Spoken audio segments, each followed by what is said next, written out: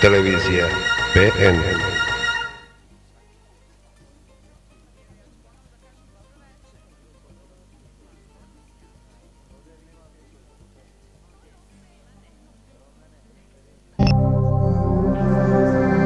Night after night, television brought images of death and suffering from the war that engulfed Yugoslavia between 1991 and 1995.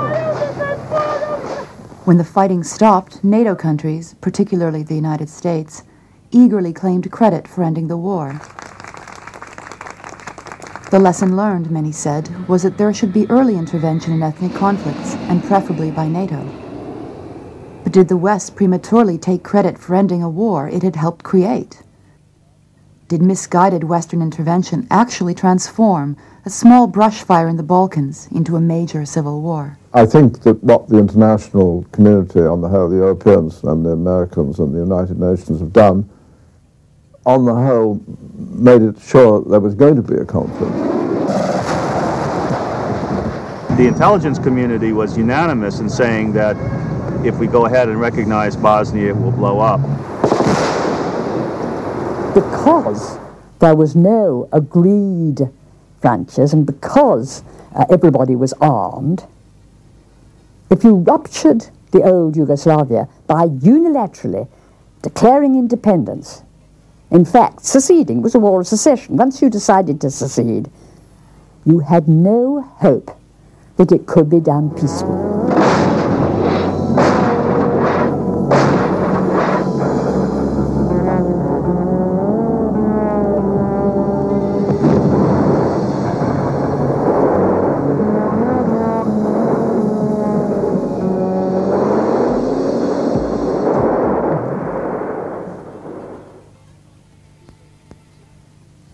1990 had brought a brief moment of hope and optimism to Europe as the Berlin Wall crumbled and the Cold War ground to a halt. A newly united Germany stood poised to unite the rest of Europe through its leadership of the European community, a friendly but powerful rival to the United States. But the promise of European unity was short lived. Just two years later, much of Yugoslavia was in flames. A small war in the Slovenian Republic led to larger, more bloody conflicts in Croatia and Bosnia-Herzegovina. Moreover, European nations, the United States, and Middle Eastern states were backing different factions in these outbreaks of civil war.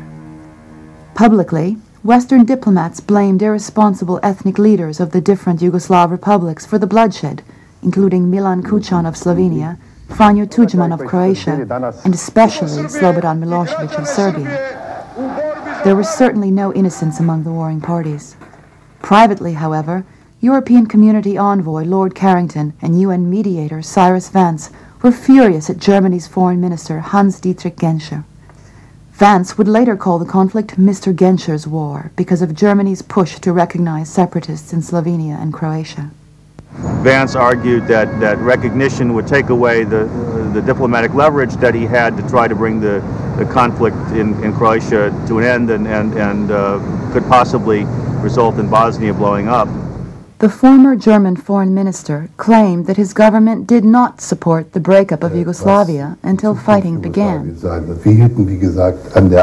We held a strong position for the unity of Yugoslavia, as I said, but we saw that the will to keep it together vanished more and more under the pressure of military events. In fact, however, since the 1960s, Germany's intelligence arm, the BND, was deeply involved in the training of Croatian separatists, led by the pro-Nazi Ustashi who fled to Germany after World War II and participated in a number of terrorist actions against embassies and the government of Yugoslav communist leader Josip Broz Tito.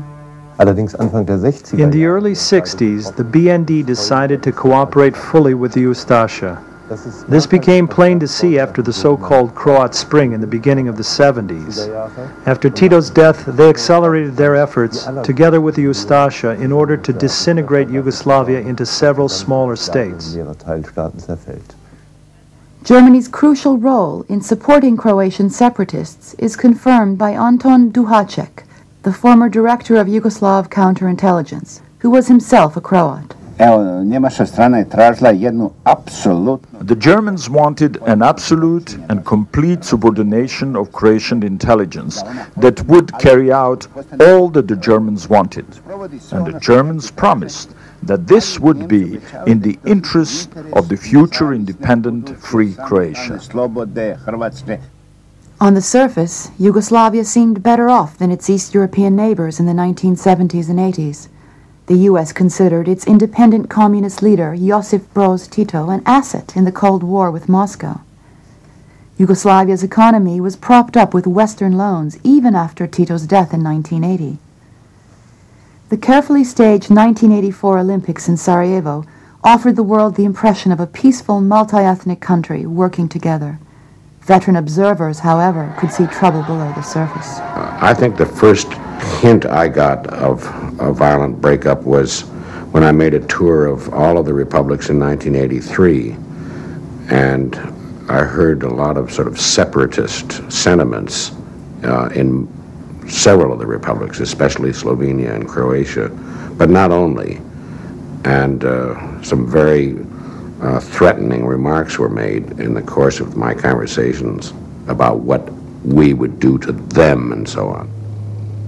By themselves, neither Slovenia nor Croatia had the diplomatic or military power to actually separate, to challenge Yugoslavia's federal army, which was the fourth largest in Europe. But Germany provided not only diplomatic support, but also weapons, even after an international arms embargo and I wrote a story about it, which was called "The Blockade's Joke." Uh, and so I went and started checking the ports, uh, like uh, Split and and uh, the ports along the, the Dalmatian coast, and uh, uh, and as best I could, checking the stuff that was coming across the borders, and there was no limitations. We, we saw a Croatian MiG-21 shot down in the Krajina uh, which the Croatians said came from uh, former Yugoslav Air Force stocks. In fact, it was clearly from East German Air Force stocks. It had the, the East German radar warning receivers on board. So we know that, that these weapons are coming from the uh, former uh, East German stocks so that they're, if you like, slightly disguised uh, in, in the sense that they don't look like West German weapons, but they are coming from West Germany obviously with the West German government's blessing. There can be no other way in which heavy weapons can be supplied like this. While separatist forces were being armed, Germany was at the same time warning the Yugoslav government of Ante Markovic not to use force against separatists. Ante Markovic, who was himself a Croatian, presided over a divided government which was unable to stand up to German pressure or rally his government for the challenges ahead. Uh, he never lined up, you know, coalition support. Uh, he always uh, flew solo. So, you know, he could be welcomed in the White House and was, uh, but he didn't have any backing at home. So, in that sense, he was a real failure and a disastrous one in that he preserved the fiction that Yugoslavia was holding together. The Yugoslav Federal Army, which held the country together, now became a target for those who wanted to break it apart. At a Croatian separatist rally in Split in May of 1991, demonstrators strangled a young soldier of the Federal Army and then tossed his dead body onto the street. This and similar events seem to bear out predictions by the U.S. Central Intelligence Agency. The CIA said in 1990 October that Yugoslavia faced breakup, probably violent, uh, as early as six months from the time of the report. And nobody paid any attention to it in the higher echelons of government. By June of 1991, however, U.S. Secretary of State James Baker decided to make one attempt to prevent a disaster. He flew to Belgrade, the capital of Yugoslavia, to confront leaders of the six republics. He said, don't any of you take steps that are not uh, agreed on by the others. However, Milan Kucan and Franjo Tudjman, leaders of the Slovenian and Croatian republics, were confident that they could ignore the U.S. Secretary of State. They declared their independence just days later, on June 25th, because they could count on the support of German Foreign Minister Genscher and Austrian Foreign Minister Alois Mock. The cycle of violence which would destroy Yugoslavia began when Slovene President Milan Kučan ordered his troops to seize customs posts on the Yugoslav borders with Austria and Italy and the Slovene capital of Ljubljana. Yugoslav flags were taken down and replaced with Slovenian flags. And the Slovenes thought they had a right to take down those flags. The end of an internationally recognized frontier. And uh, I don't think that the, for a moment Belgrade expected there would be violent resistance. To avoid violence, Yugoslav Army General Andrija Rašeta had phoned Milan Kučan privately to let him know that many Yugoslav Army troops responding to this challenge of federal authority were not even carrying live ammunition. But in fact, the Slovenes had prepared themselves. They were getting a lot of encouragement from across the way, from Vienna and uh, from the Germans too. And they foresaw that they could uh, make a very big international case by having what they called a war of independence. It was nothing of the sort. German Foreign Minister Hans Dietrich Genscher flew to the Austrian border with Yugoslavia to join President Kučan and warned the Federal Army against efforts to maintain control of federal borders. Kučan ordered his forces to fire on Yugoslav army troops, including those who carried no live ammunition. Faced with international opposition led by Germany, Yugoslav President Markovic ordered the Federal Army to withdraw from Slovenia without a serious attempt to counter separatist forces. Slovene leaders conducted a masterful public relations effort.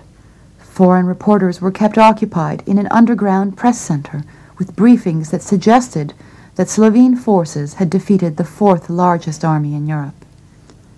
Journalists in the press center routinely reported as news fanciful briefings from Slovene officials on various battles, including some that had never happened. What was going on in Slovenia, where the Slovenians declared independence and set up customs posts on the road, tended to be seen and portrayed on television as the, uh, the Yugoslav army acting aggressively against Slovenia as opposed to the Slovenians declaring independence. The manipulation of the Foreign Press Corps set the tone for new wars of secession in Croatia and Bosnia. Repeatedly, the JNA was described as an occupying force dominated by Serbs. The reality was different, however. The Army's Chief of Staff, Veljko Kadijevic, was half Croatian, half Serb. Air Force Chief Zvonko Jurjevic was Croatian and the commander of the navy, Stane Brovec, was Slovenian.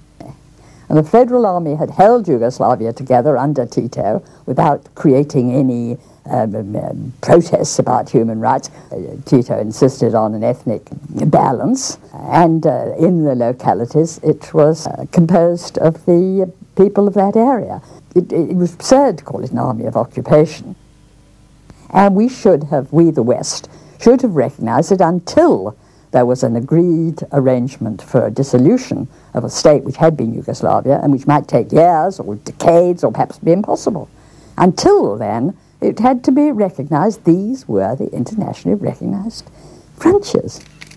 If German and Austrian leaders still believed that Slovenia and Croatia could be separated from Yugoslavia without a wider war, the Americans strongly believed otherwise. Because we said if Yugoslavia does not break up peacefully, there's going to be one hell of a civil war. Uh, it nevertheless broke up uh, non-peacefully. It broke up through the unilateral declaration of independence by Slovenia and Croatia and the seizing by these two countries, uh, republics, of their border posts, which was an act of force and which was an act that was in violation of the Helsinki uh, principles. Uh, but the European powers and the United States ultimately recognized Slovenia and then Croatia and then Bosnia as independent countries as member and, and admitted them to the United Nations. The real problem was that there was a unilateral declaration of independence and a use of force uh, to gain that independence rather than a peaceful uh, negotiation of independence, which is the way it should have happened.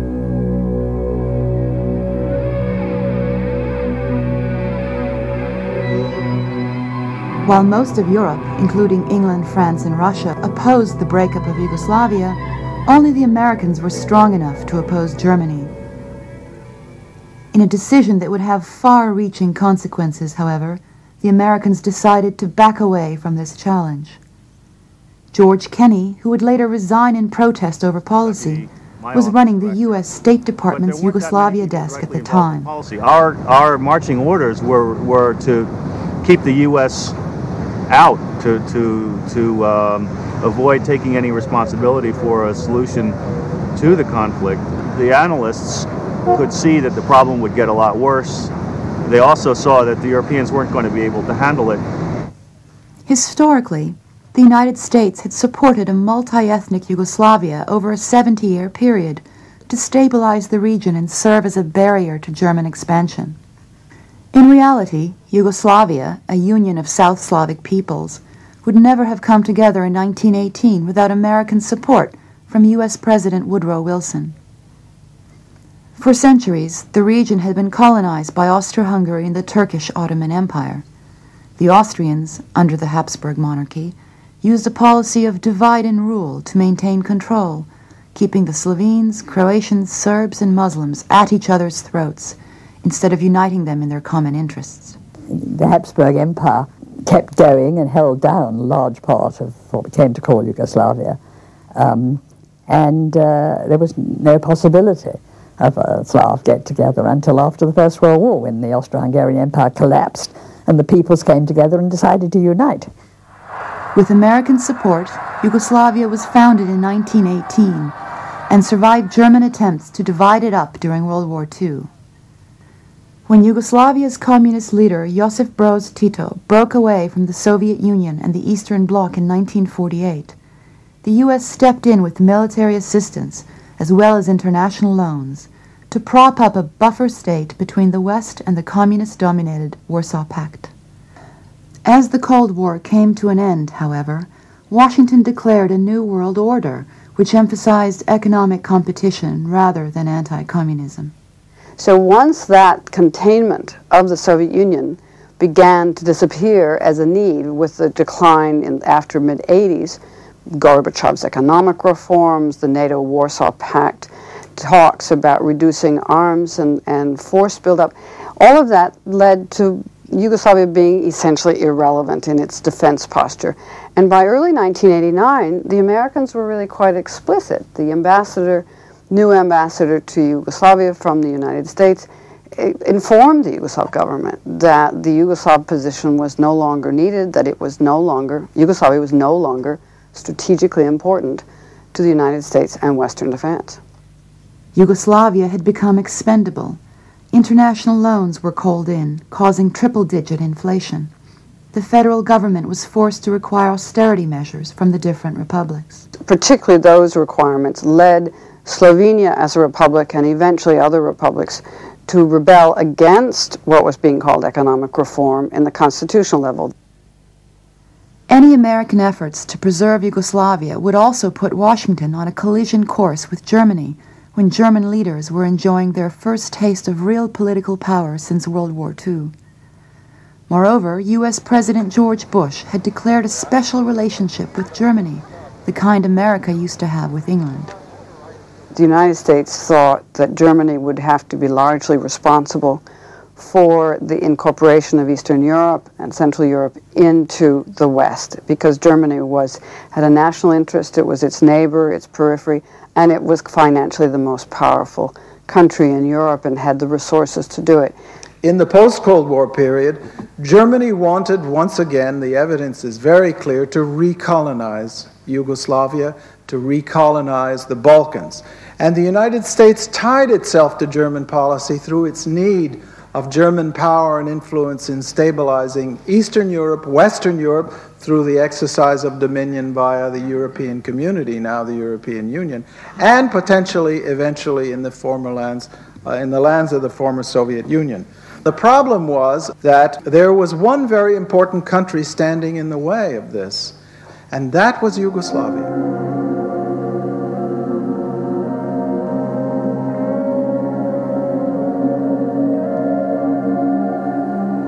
While citizens of Croatia were initially divided over whether to remain in Yugoslavia, the separatists were led by the most extreme elements, remnants of the pro-Nazi Ustashi.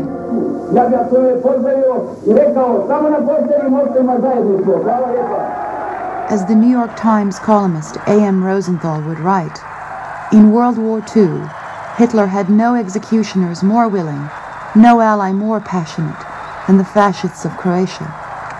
They are returning from 50 years ago from what should have been their eternal grave, the defeat of Nazi Germany. Adolf Hitler considered Yugoslavia to be an artificial creation of the hated Versailles Treaty, which ended World War I. To break it up, he set up a puppet state and enlarged Croatia, which also included Bosnia-Herzegovina. As its leader, he appointed the fanatical Croat Ustashi Ante Pavelic. Pavelic had helped plot the assassination of King Alexander, Yugoslavia's first constitutional monarch, in Marseille, France in 1934. And it was the Germans, the German Nazis, who picked out this dreadful um, uh, Ustashi leader uh, who had made quite clear that he favoured Hitler's solution to be applied, which Hitler's final solution for the Jews he wanted to apply to the Serbs. He made no secret of it. Simon Wiesenthal, who tracked Ustashi fugitives for decades, along with other Nazi war criminals, told an interviewer, I must admit I am obsessed by the criminal character of the independent state of Croatia. Even the Germans were appalled by the crimes committed in it. How many men, women, and children died there? Hitler's special envoy to the Balkans, Hermann Neubacher, wrote, Leaders of the Ustashi boast that they have slaughtered one million Orthodox Serbs. On the basis of official German reports, I estimate the number to be three quarters of a million. Most of these Serbian civilians perished in the notorious Croatian death camp Jasenovac, which straddled the Sava River between Croatia and Bosnia. The extermination of Serbs, Jews, and Gypsies in Sarajevo was the task of top Muslim leaders who, with few exceptions, collaborated with Hitler and the Croatians. There was in occupied Bosnia, also under German patronage, a strong uh, Muslim wing which was uh, very anti-Western. Uh, it was represented uh, internationally by the Mufti of Jerusalem, you heard of his viciously anti-Western views, and he was brought to Sarajevo and mobbed by enthusiastic crowds. After the war ended, Croatia and Bosnia were never denazified. Not only were there no apologies to the Serbs, Jews, and Gypsies, but attitudes remained frozen under the surface of Tito's official policy of socialist fraternity amongst peoples. Following the death of Yugoslavia's longtime leader, Tito, in 1980, right-wing emigre organizations took out an advertisement on the opinion page of the New York Times stating that Yugoslavia would not survive and offering a map which included all of Bosnia as part of Croatia. It was a map nearly identical to the Nazi-created independent state of Croatia. By 1990, as communism was collapsing in Eastern Europe, Croatian separatists pinned their hopes on a former communist general named Franjo Tudjman, who had been jailed for excessive nationalism by Tito in the 1970s. You know, I met him very soon after he came out of communist jail, while uh, Tito was still alive. He had then championed the uh, racialist nationalist form of nationalism. And uh, when he came out of prison, instead of doing what you would think a dissident would do and say, to hell with the communists, he said, oh, well, it's nothing to do with the regime. It's those horrible Serbs who are oppressing us, and the Serbs are responsible for everything, and the Serbs are guilty, and the Serbs have done it all. Tudjman received important help from outside of Croatia in his rise to power. The German Secret Service was enormously active in Croatia and in all of Yugoslavia, trying in the 80s to build bridges between what were called the national communists, Stipe Mesic, Franjo Tudjman, in Yugoslavia, and the Ustasha revanchist organizations which lived in the diaspora of uh, Croatia, that is to say, all of the people of weight and influence who had fled uh, the former Nazi puppet state in 1945.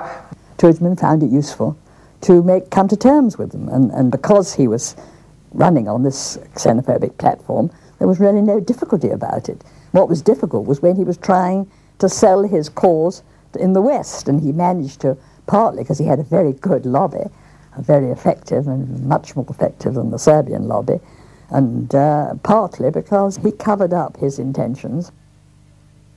Tudjman often embarrassed his most important supporters, such as German Chancellor Helmut Kohl. For instance, Tudjman had written a book minimizing the crimes of the Ustashi and claiming that the Holocaust was greatly exaggerated. Thank God my wife is neither a Serb nor a Jew, he told one interviewer. For the national flag, Tudjman chose a replica of the checkerboard emblem that flew over the Croatian death camps of World War II, where Serbs, Jews, and Gypsies were exterminated. Tudjman's anti Semitic views were covered beneath rhetoric acceptable to the West. With the help of Ruder and Finn, a high powered American public relations firm, the New York Times found space for General Tudjman's new and misleading image on its opinion page.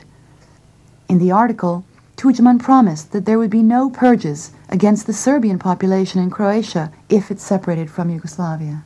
Tudjman declared that Croatia was for the Croats. That was his slogan, a racialist slogan. Croatia for the Croats, with the implication people who weren't Croats, and there was a very substantial Serb and Yugoslav mixed variety, um, didn't feel that they had any, they were in fact second class citizens, and he recognized them as such. A full six months before fighting broke out, Serbs were purged from positions in government, news organizations, and the police. Their homes were dynamited in cities such as Zagreb, Zadar, and Dubrovnik. For the first time since World War II, Serbs in eastern Croatia began to flee across the Danube River.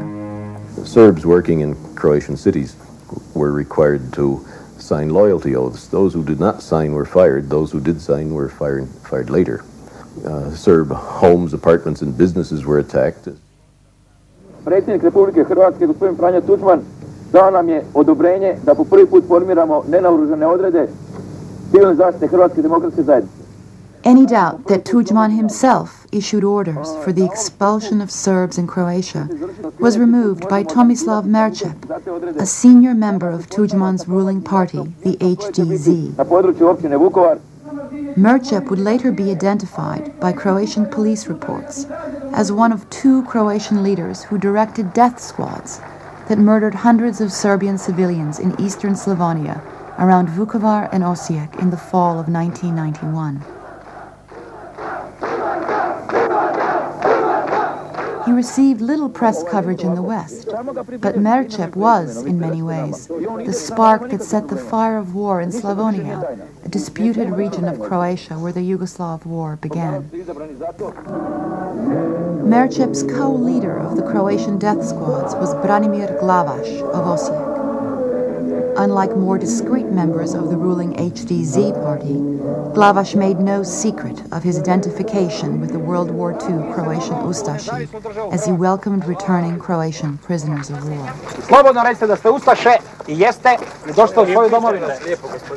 While some French intellectuals were hailing Croatia as part of the new Europe, old and familiar forces were at work. Osijek became a magnet for neo-fascist groups fighting with Glavaš. They included British skinheads, German and Austrian neo-fascists, and followers of the French extremist Jean-Marie Le Pen. C'est comme ça que l'on bâtit l'Europe euh, nationaliste. Et euh, vous y allez directement après, demain Oui, de, demain nous partons pour euh, Zagreb pour prendre des ordres au, à l'état-major, mais pas de l'armée la, croate régulière. Nous allons avec la force de défense croate qui dépend du Parti du droit croate, et donc nous partirons quelque part sur le front en Slavonie, je suppose. The United States, which soon adopted Germany's approach to the Balkans, ignored recent history and offered a simple explanation for the fighting which broke out in the predominantly Serbian region of Croatia, which was known as the Krajina. Assistant Secretary of State Richard Holbrooke, who spent the early years of the Yugoslav War as the American ambassador to Germany, represented what became the official American view. The Serbs started this war. The Serbs are the original cause of the war. Those who tried to prevent the war saw it differently. The Serbs in, uh, in Croatia, and indeed outside Croatia, had a very vivid memory of what happened in 1941-42, uh, when Hitler uh, declared Croatia as an independent in puppet state, if you like, and the uh, horrors that went on there and, and, the murders of the Serbs uh, were still very, I mean, a very large number of Serbs were murdered at that time. I mean, uh, hundreds of thousands. And um, I think it was very understandable that uh, when Croatia uh, declared its independence and promulgated a new, new constitution without any safeguard for the 600,000 Serbs who still lived in Croatia, the, the, Croatian, the, the Serbs were very perturbed about this. From the beginning, the Serbs were blamed, and they were partly blamed out of ignorance because nobody bothered to look back at the history to put it within its historical context and to see why the Serbs who lived in Krajina and the Serbs who lived uh, in, uh, in, in, the area that is called Bosnia and Herzegovina, why, because of their historical experiences, were so hostile to being under uh, Zagreb or under Muslim Sarajevo rule. In World War II, Serbs offered the first serious resistance to Nazi Germany on the mainland of Europe. Later in the war, the Serbian royalists, sometimes known as the Chetniks, organized the largest rescue of downed American pilots behind enemy lines. But U.S. relations with the Serbs deteriorated greatly by 1989 symbolized by the stormy relationship between Slobodan Milosevic, the new leader of Serbia, and Warren Zimmerman, the new U.S. ambassador to Yugoslavia.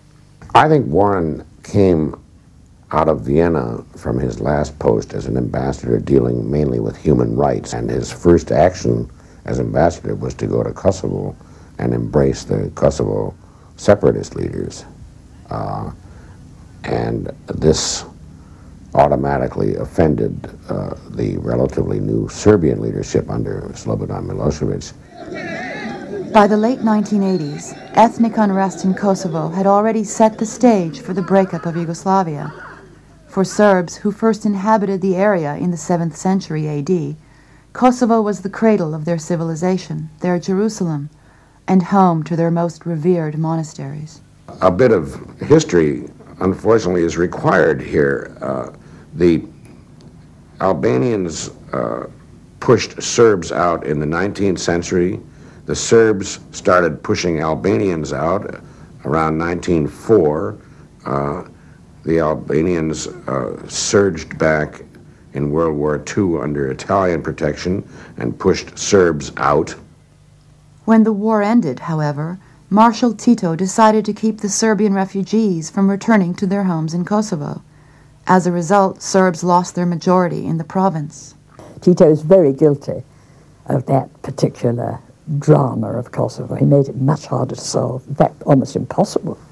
To keep a restive Albanian population within the Yugoslav Federation, Tito's 1974 constitution gave Kosovo autonomy as a province of Serbia. However, the autonomy was badly abused by Tito's Albanian communist cadres, who permitted a campaign of violence to drive out the remaining Serbian population. Life was made extremely difficult uh, for the Serb minority, and it was here that the Kosovars began to push to have a pure, uh, all Albania, meaning racially pure, um, Kosovo in the areas where uh, there were very few Serbs anyhow, they were pushing them out. And the Serbs used the word that it was ethnic cleansing, and that's what it was homes of Serbs were appropriated by Albanians.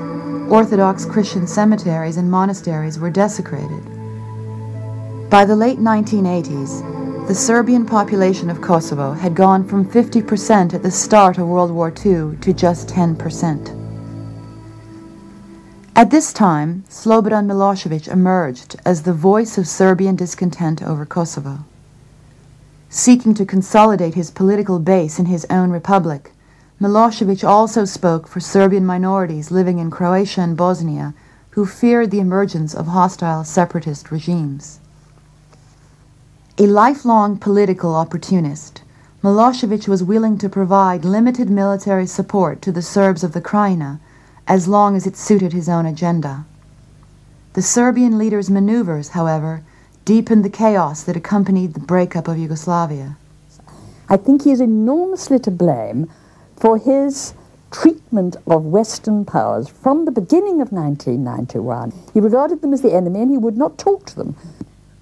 While Serbia's president shunned meetings with the American ambassador, separatist leaders were receiving a sympathetic ear from Warren Zimmerman.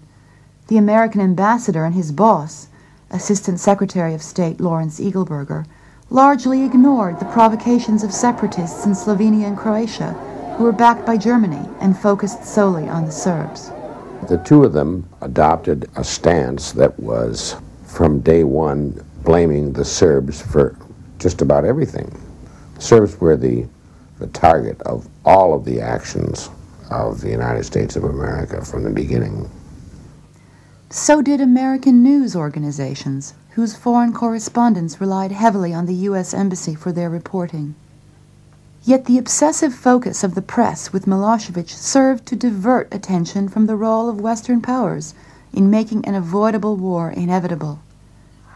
While some Western leaders called Milosevic an architect of the conflict, the first shots of the war had been fired by armed separatists in Slovenia and Croatia, strongly supported by Germany.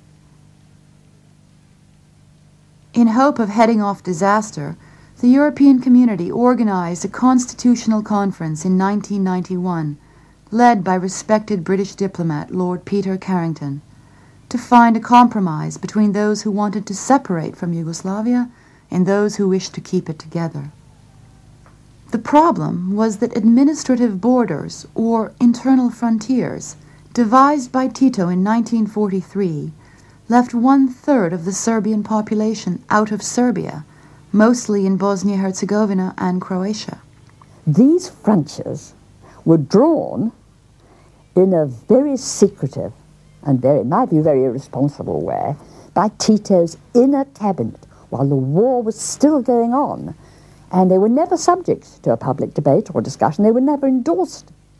The idea of giving each republic substantial economic and political autonomy meant that each was a kind of hierarchy of the party, and then there was a, you had, in order to keep the country together, you had to balance out these political leaders. And Tito was very skillful in playing one off against the other, or in some cases of playing them against their population. It was the substitute for democracy in the way that we know it, but it was also considered by many of his supporters throughout the population as necessary because, to their view, democracy led to national, or as we call them, ethnic parties, and that would then break up the country and lead to civil war again. As Yugoslavia slid toward civil war in 1991, two referendums were held on the same day in Croatia. Croatians voted overwhelmingly to separate from Yugoslavia, while ethnic Serbs, particularly those from the Krajina region, voted by a similar margin to remain within Yugoslavia. A compromise favored by European community negotiators would have permitted Croatia to leave the Yugoslav Federation, but would have permitted the regions where Serbs formed a majority to remain in Yugoslavia or to gain substantial autonomy. Serbs who lived in an independent Croatia would be guaranteed full citizenship and human rights protections.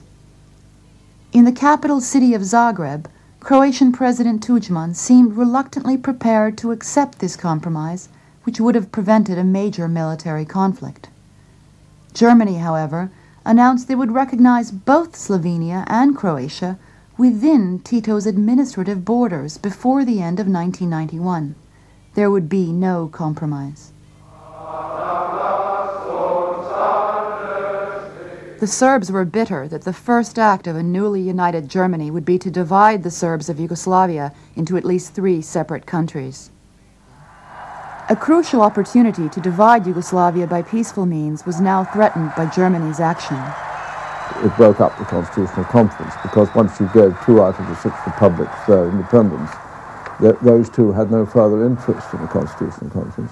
You had to ask the other republics whether they wanted their independence, which meant you had to ask Bosnia, and it was perfectly plain uh, that Bosnia, uh, well, there was going to be a civil war in Bosnia if you did do that.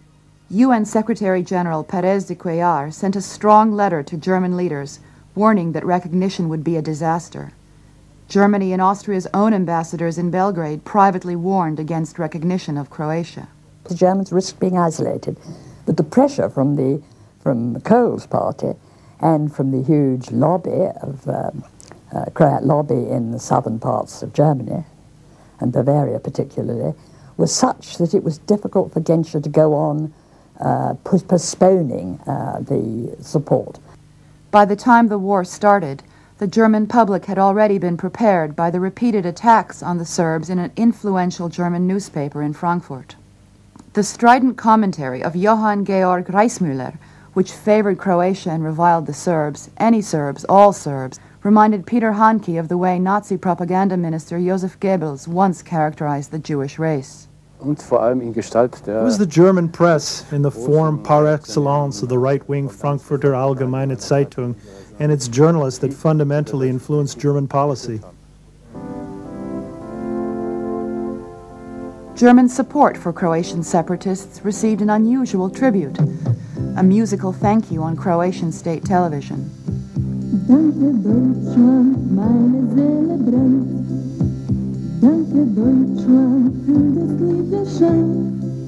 Serbian television broadcast Croatia's musical thank you, interspersed with World War II footage of cheering Croatian crowds in Zagreb welcoming Hitler's troops.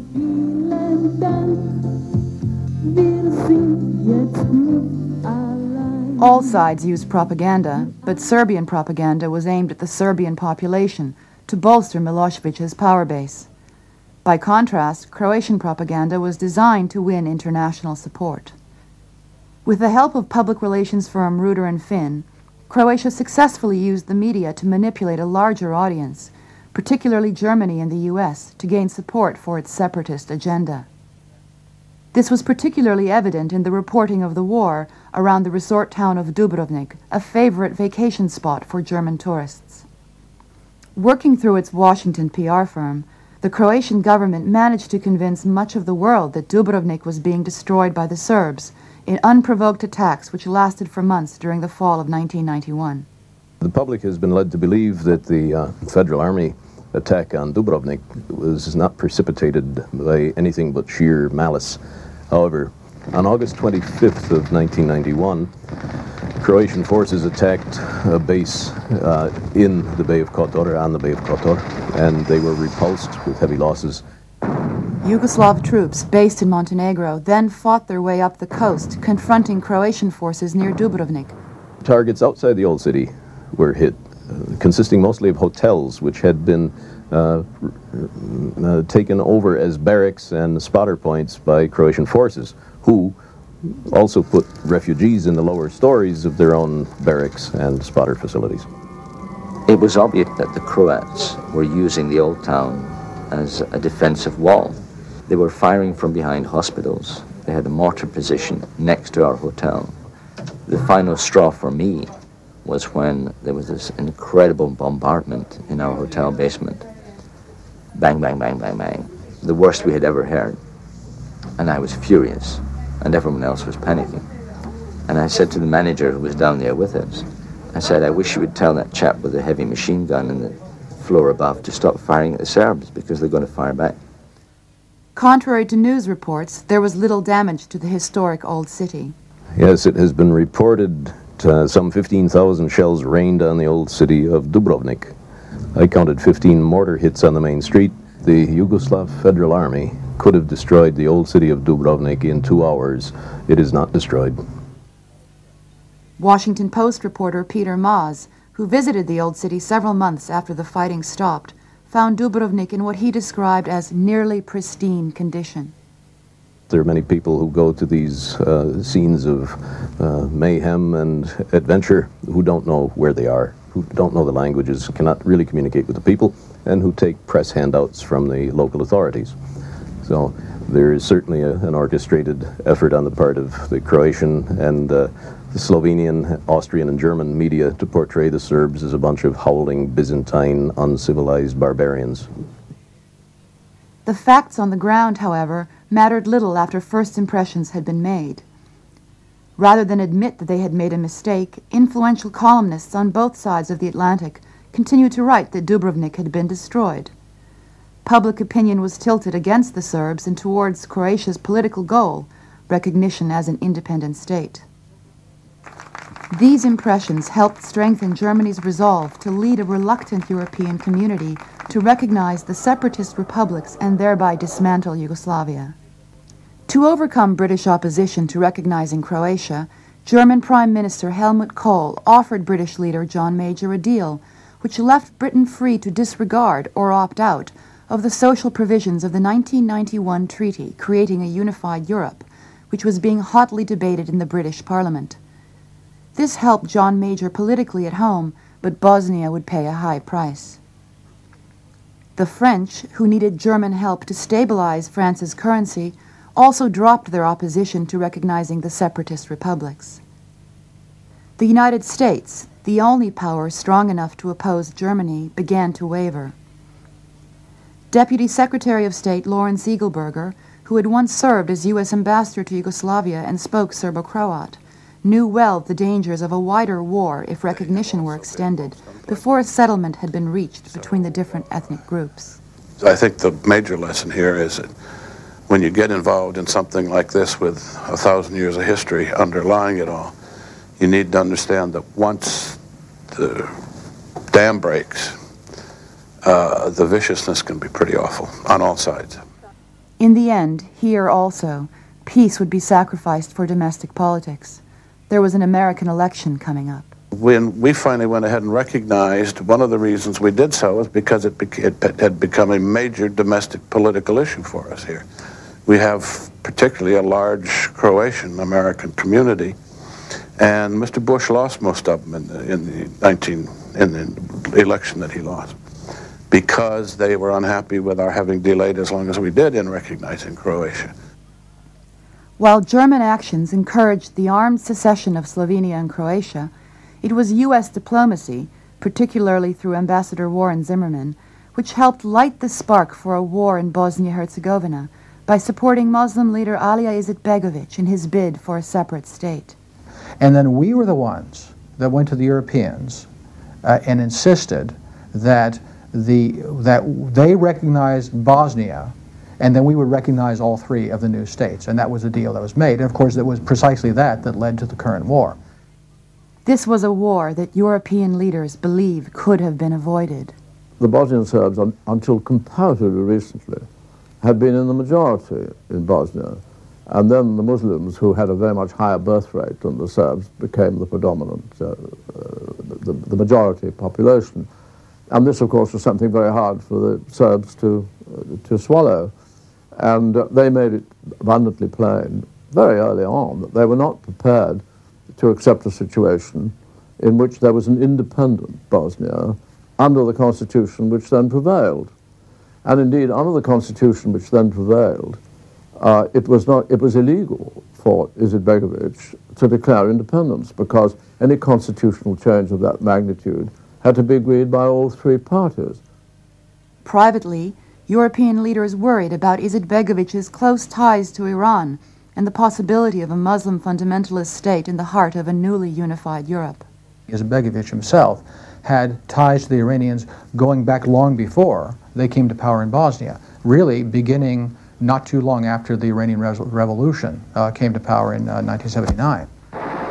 As armed conflict swept across Croatia in the fall of 1991, a group of Muslim moderates led by Adil Zulfikarpasic undertook an effort to prevent similar or worse bloodshed in Bosnia by entering into negotiations with Bosnian Serbs and Serbian President Milosevic.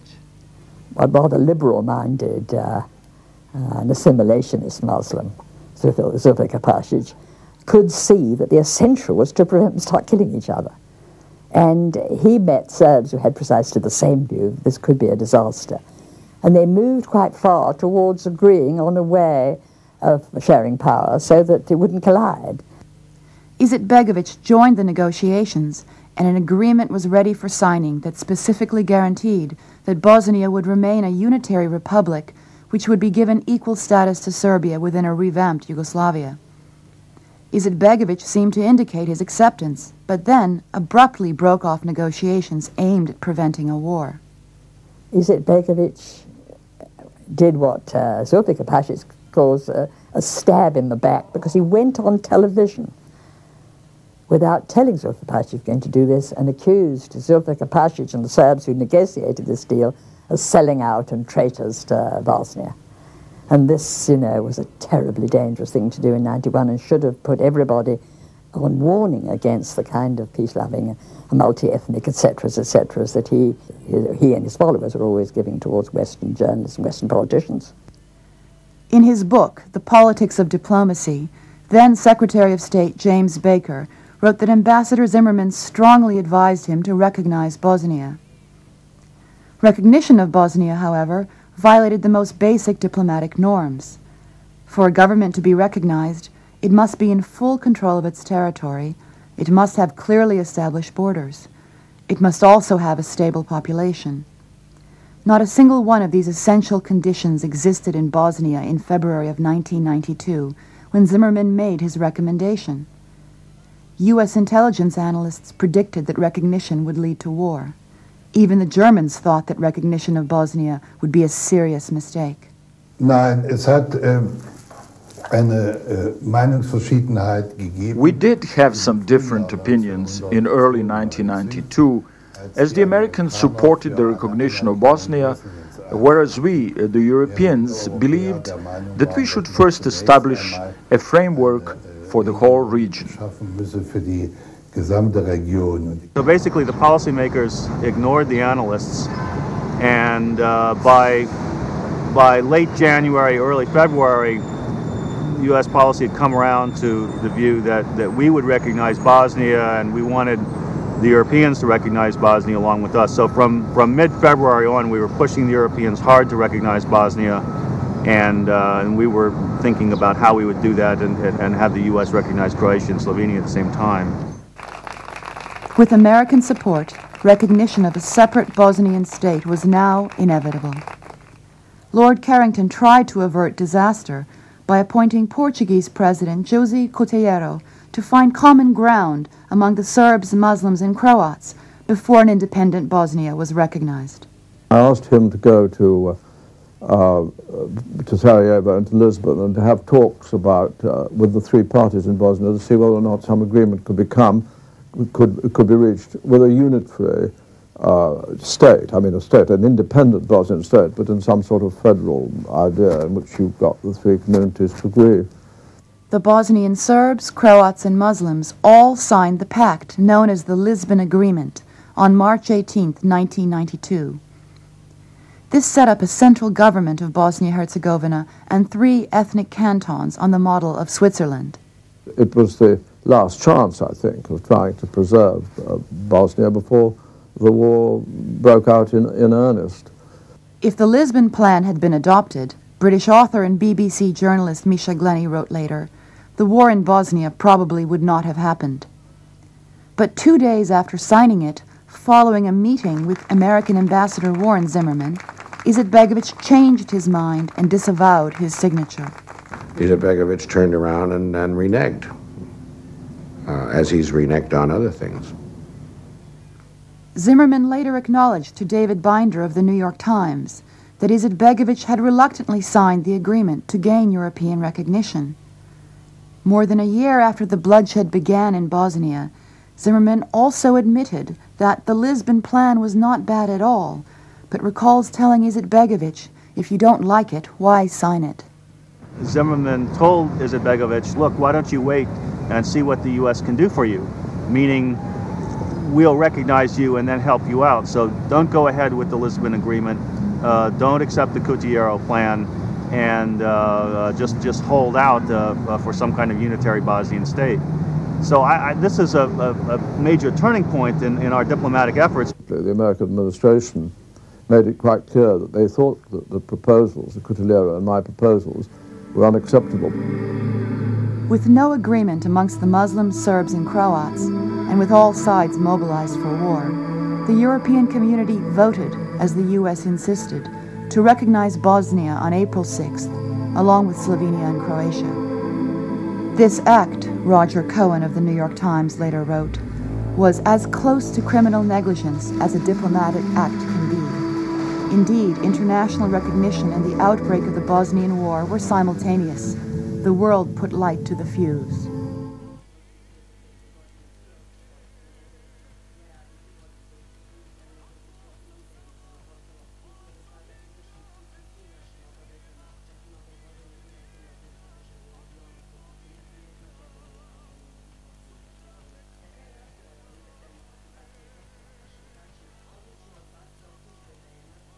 Sides in Bosnia, the Serbs, Muslims, and Croats, fought for their own survival in 1992, Western countries sought political advantage by allying themselves with different factions. Outside, individual countries have been playing sides and therefore escalating the nationalist competition within.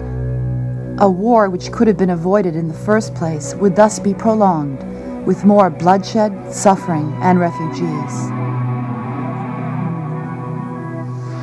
When the fighting erupted in 1992, the UN mission in Sarajevo known as UNPROFOR, was given the thankless task of bringing the warring parties together in some form of compromise.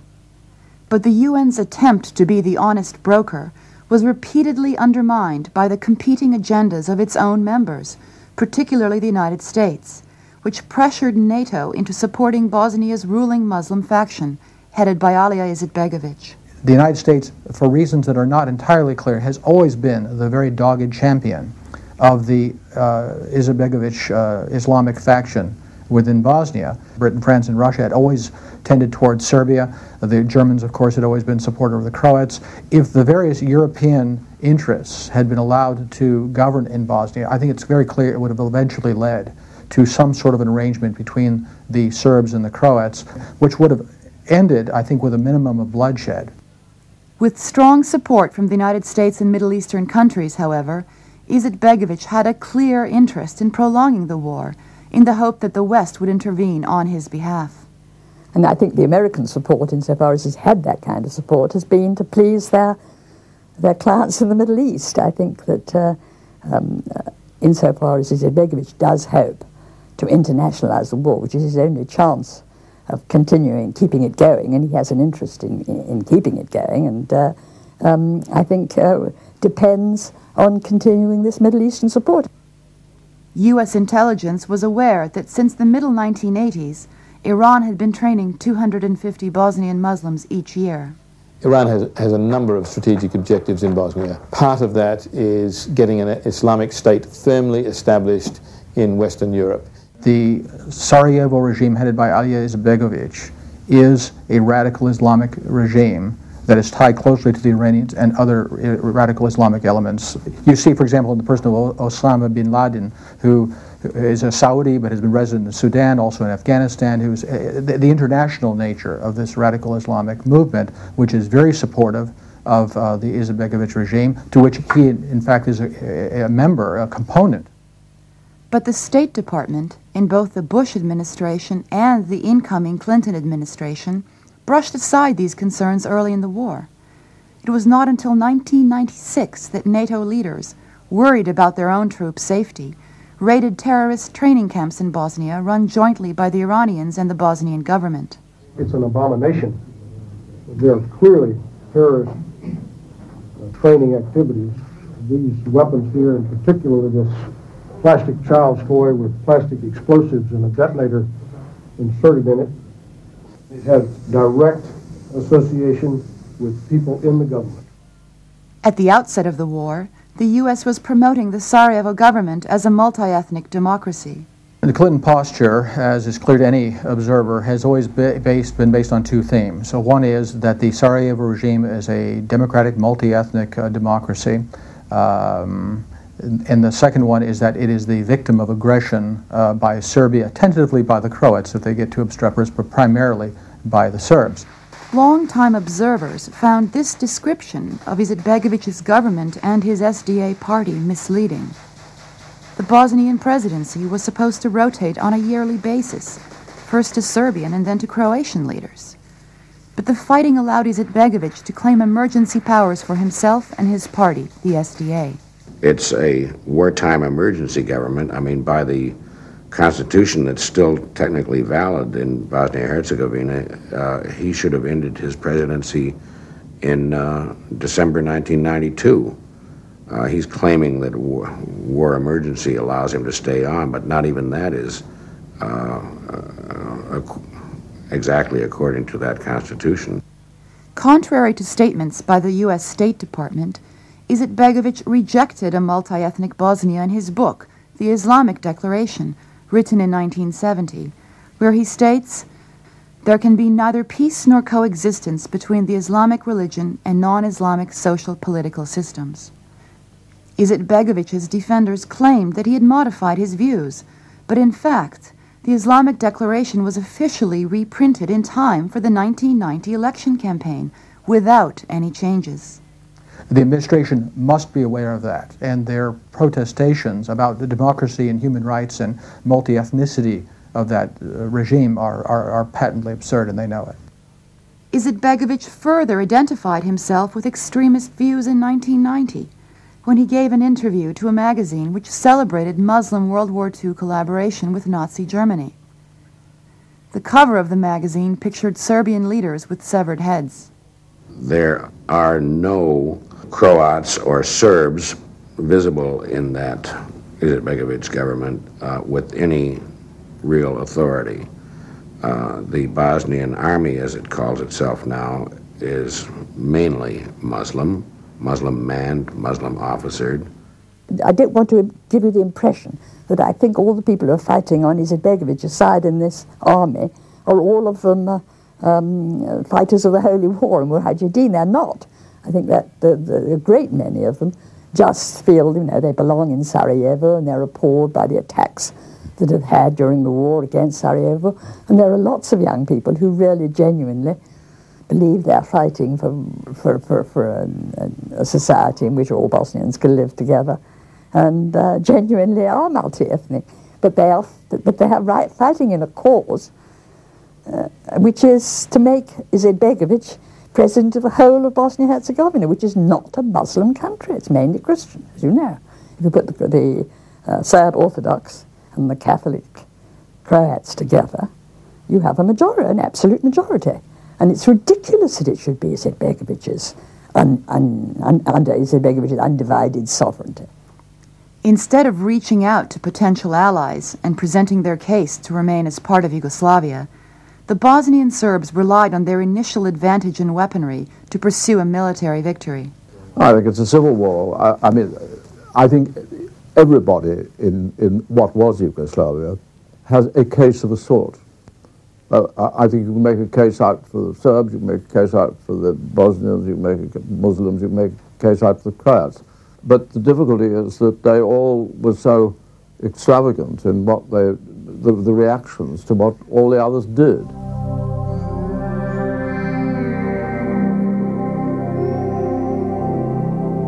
The Muslims have been represented as the victims and the Serbs as the aggressors. It should be remembered, however, the first blood shed in the struggle was Serb blood. Two Muslim gunmen and one Croat stalked a Serb Orthodox wedding party in the heart of Old Sarajevo. The father of the groom was killed. Uh, the Orthodox priest who was wounded. The killing of Nikola Gardovic on March 1st was a prelude to the war in Sarajevo. Despite promises from the government, the killers, who were well known, were not arrested. The following day, roadblocks were set up by both Muslims and Serbs. Unable to protect their civilian population, Serbs began to insist that predominantly Serbian areas of the city be controlled by their own police, or that Sarajevo become a UN protectorate.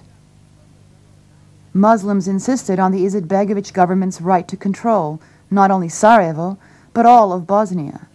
To get the West to intervene, they needed to persuade Western public opinion that the Serbs were aggressors. If you know the history, which most reporters don't know, um, you can very easily see them as the aggressors. And the American press corps, uh, the diplomatic corps, and also the, the foreign correspondents themselves are heavily influenced by what is said and what is done in Washington, D.C. Uh, what the State Department says is the most important thing. In his autobiography, U.S. Secretary of State James Baker says that he instructed his press secretary, Margaret Tutwiler, to help Bosnian Foreign Minister Haris Silajdžić utilize Western mass media to build support in Europe and North America for the Bosnian cause. But at the Times and the Post, and at the networks, big TV networks, there was clearly a pro-Bosnian Muslim bias. They were buying much of what the Bosnian Muslims said, and they were egging their reporters on because it made a better story. It's a simpler story if it's a Serb Holocaust against the Muslims than, than, than if, if it is a civil war with atrocities on both sides. Even if, even if we find out when there's a real reckoning of what happened, that a preponderance of, uh, or a higher proportion of the atrocities were committed by the Serbs, it doesn't mean it wasn't a civil war. It doesn't mean that there weren't two sides of the story. This is part of our history, it's part of our culture, it's promoted by uh, the uh, entertainment industry, and uh, so in the scene of Bosnia, we had to have a good guy and a bad guy, and we like to have a victim. So it was very easy there to say, wait a minute, the, the, the Muslims are the victims, the Serbs are the bad guys, and the Croatians are kind of the good guys because they're like us and so on. There was a sense that um, some of their reporting was censored to a certain line, which was anti-Serb, um, as opposed to actually trying to create balance of what the Bosnians were doing at the same time. The press would have us believe that the Serbs have seized two-thirds of Bosnia. The fact is the Serbs have lived in that territory for 1,500 years. Another fact is they are farmers and they are spread all over the landscape, so they have always been on two-thirds of the landscape the statement that has become an absolute cliche that the Serbs have taken over 70% of Bosnia. Again, the underlying assumption is that there were no Serbs in Bosnia before the conflict started, when in reality, uh, uh, much of the land of Bosnia was, was Serb land before the fighting ever began. But uh, the implication is that the Serbs dropped in from some other planet and just took over uh, nearly two thirds of the country. Based on what he now calls highly biased reporting, Kenney became a hardline critic of the Bosnian Serbs, whom he considered aggressors. In an influential opinion column in the New York Times, Kenney and U.S. Air Force General Michael Dugan argued that Bosnian Serbs should be bombed by NATO. I personally was responsible for perhaps one of the most important things that the State Department did, labeling what was going on ethnic cleansing. I had tried to, to uh, gin up public opinion. Uh, and, and, part of my job was to, to uh, draft material for the, the spokesman, Margaret Tutwiler. And she was always looking for inflammatory material. But in any case, my colleague in Belgrade sent me a cable one day saying the Serbs were doing what they described as ethnic cleansing. I thought, okay, this is great. Um, I'll, I'll, put this into Margaret Tutwiler's noon briefing. And to my surprise, no Women senior official took the words out. The aggressors and extremists pursue a policy, a vile policy of ethnic cleansing.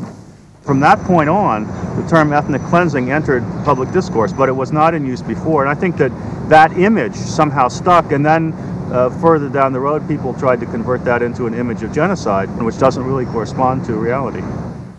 The reality was that all sides had been carrying out ethnic cleansing since the beginning of the war.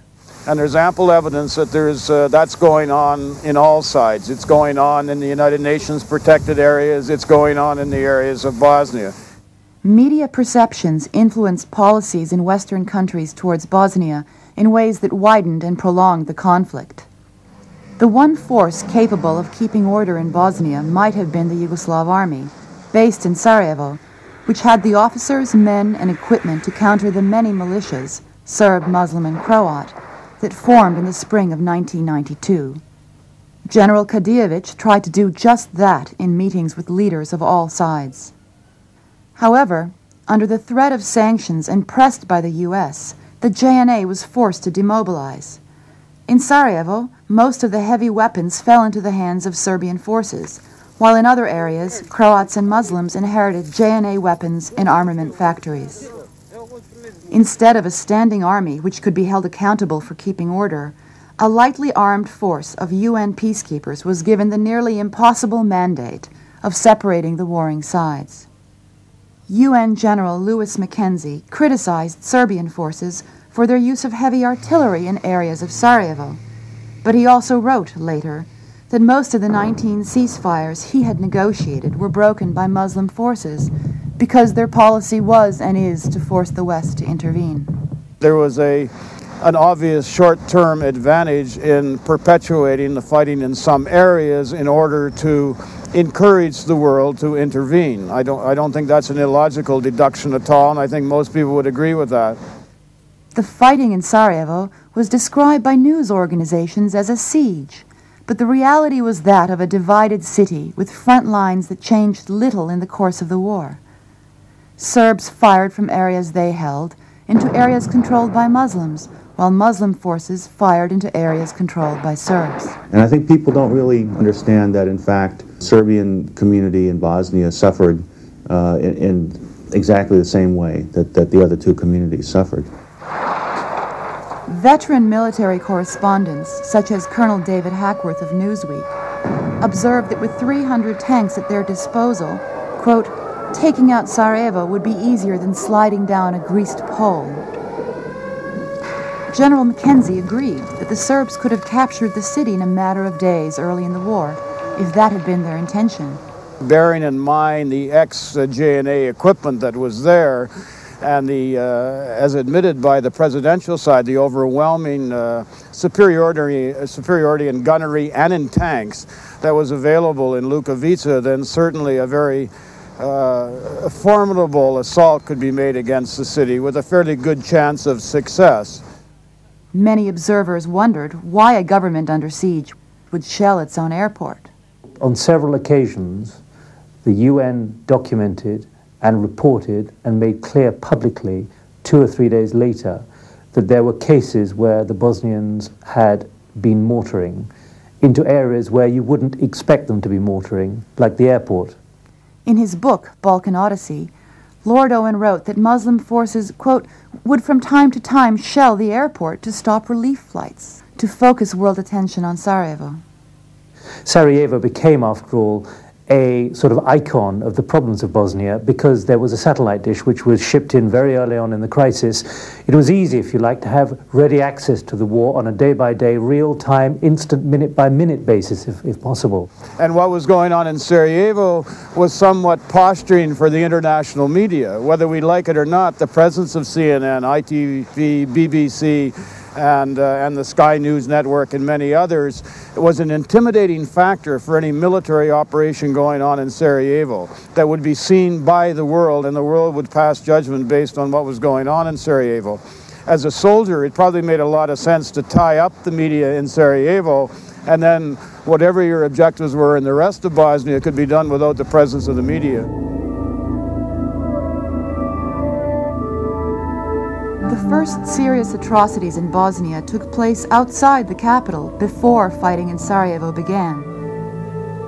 The first massacre of the war, which was carried out on March 26th in Sijekovac near Bosanski Brod in northern Bosnia, was ignored by Western news organizations. Interestingly, the slaughter of five Serbian families and the burning of the village by Croatian forces was reported by the pro-government Sarajevo newspaper Oslobođenje. A week later, on April 2nd, Croatian forces captured the town of Kupres in central Bosnia. After the town was recaptured, Serbian television offered footage of Serbian soldiers and civilians who had been mutilated to Eurovision in Geneva for worldwide transmission. But they were turned down by officials in Geneva who said they already had the story from the Croatians. The Serbs have been fragmented in their response to the media. Uh, they were hampered uh, in the first instance by the fact that the television uplinks were in Sarajevo and Zagreb, and they were not able to get their message out in the first stages of the breakup of Yugoslavia. But since then, they were slow to learn how to use the Western media. In a murky, complicated, uh, violent situation, it's a lot easier for a lazy reporter or a lazy editor to get it from the, from the press agents. And the Bosnians had a better press operation, pure and simple.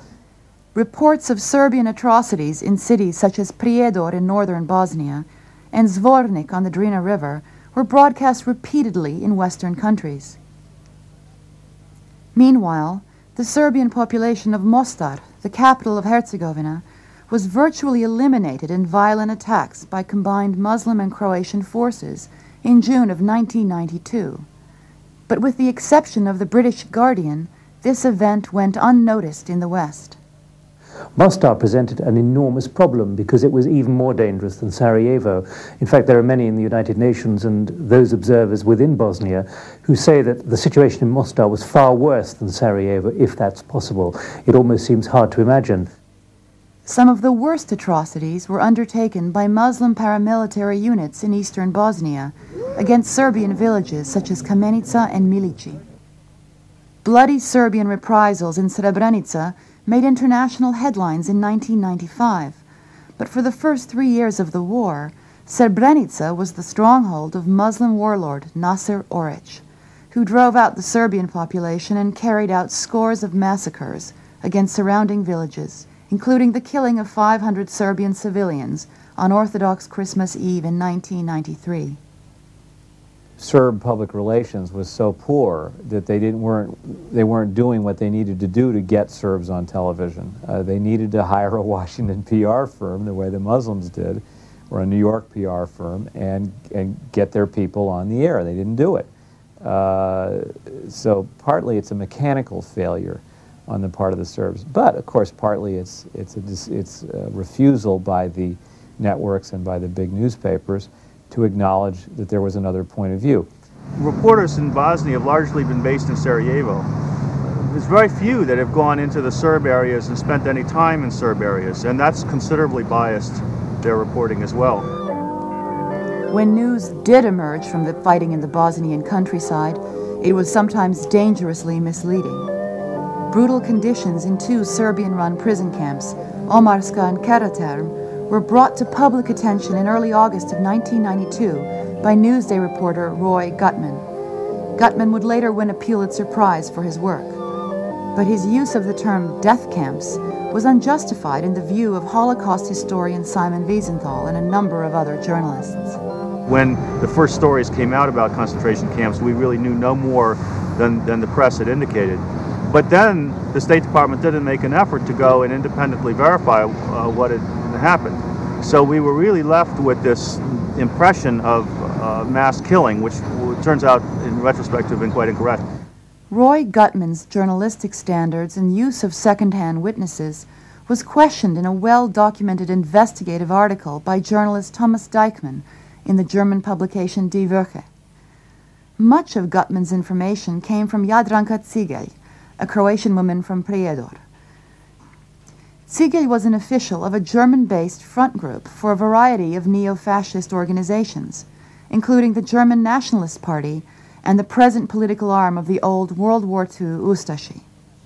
Jadranka Cigelj's accounts of rape and mayhem by Bosnian Serb forces attracted much media attention in the West, including from ABC anchorman Peter Jennings. Omarska. There, many of the prisoners were tortured. The women were raped. One of the women was Jadranka Cigelj. But crucial details kept changing in her accounts of events at Omarska and Prijedor. If you look at um, Roy Gutman's article about her, she blames the camp commander in Omarska, a guy called Zeljko Mejakic, as having raped her. And she blames another few, uh, tells another few names as well. But in other eyewitness reports, she tells, you know, she accuses different Serbs uh, having raped her in Omarska, which again raises questions about her credibility. It became clear that she tells different stories to different people, and that raises, or raised for me, quite important questions about the role of the media and the question about the sources you're going to use. The War Crimes Tribunal in The Hague, which investigated these charges, came to a similar conclusion when they declined to use Cigelj to testify on events she claimed to have witnessed. Charges against the commander of Omarska were quietly dropped by the War Crimes Tribunal several years later. Several weeks after Roy Gutman's sensational articles were published, a major interagency intelligence report by the U.S. concluded that while serious abuses had taken place, there was no evidence of organized mass killing. We can be fairly certain that there hasn't been mass killing in the concentration camps. There's just no evidence of that whatsoever. The International Committee of the Red Cross, known as the ICRC, stated officially, quote, Serbs, Croats, and Muslims all run detention camps and must share equal blame. The Muslims were running camps, and the Croats were running camps, and the ICRC in that same week had had a, a delegation going around looking at camps run by all sides, and there were abuses uh, taking place on all sides. Ironically, the first mention of the phrase concentration camp occurred in the New York Times two months earlier, referring to a Muslim-run facility near Konjic. Times reporter John Burns noted that the UN confirmed that Serbian civilians who survived a Muslim massacre were being incarcerated in a railroad tunnel. Under international pressure, the two worst prison camps, Omarska and Keraterm, run by the Serbs, were shut down in 1992 after four months of operation. But neither Burns nor any other Western reporters bothered to report on the brutal Muslim camp near Konjic or the Croatian camp Dretelj, where killings and atrocities were routine. There were Serbs in camps held even after the end of the war. Um, and uh, there were Serbs being held in, in Sarajevo in horrible conditions in a drain pipe. And journalists knew about it and never wrote about it. There is no use anybody pretending that there are innocents in this business and that there is one side that is pure white, the victims, and the other side, pure wrong, black, the aggressors. That is not the case. Black, the aggressors. That is not the case.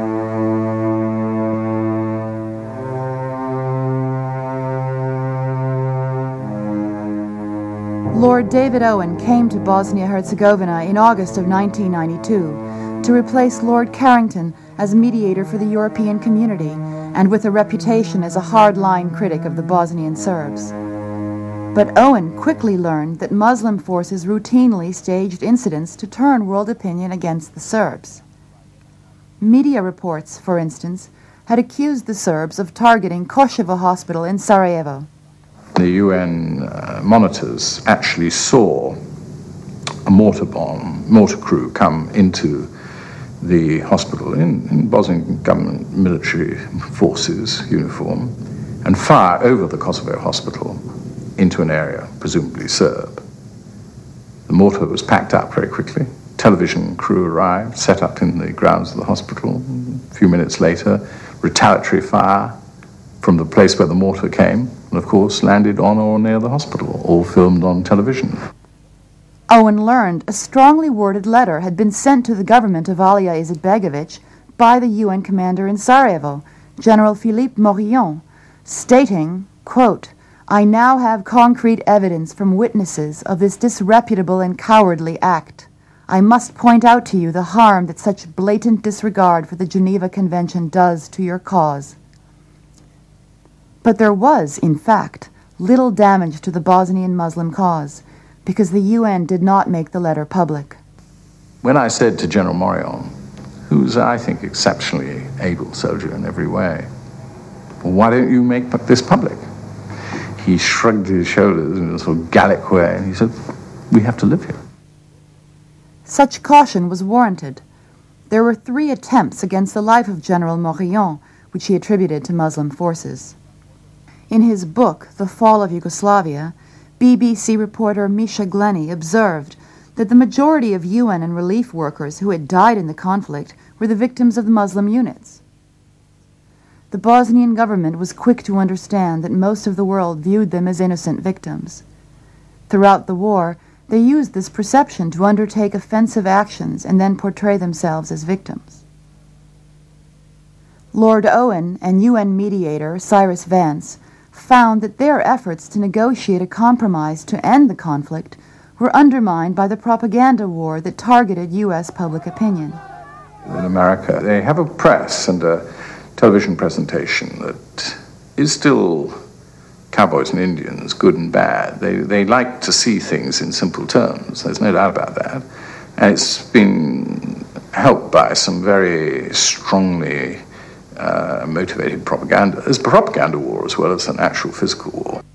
And then there were some spectacular um, events which made good television and which were used effectively to totally discredit and demonize the Serbs.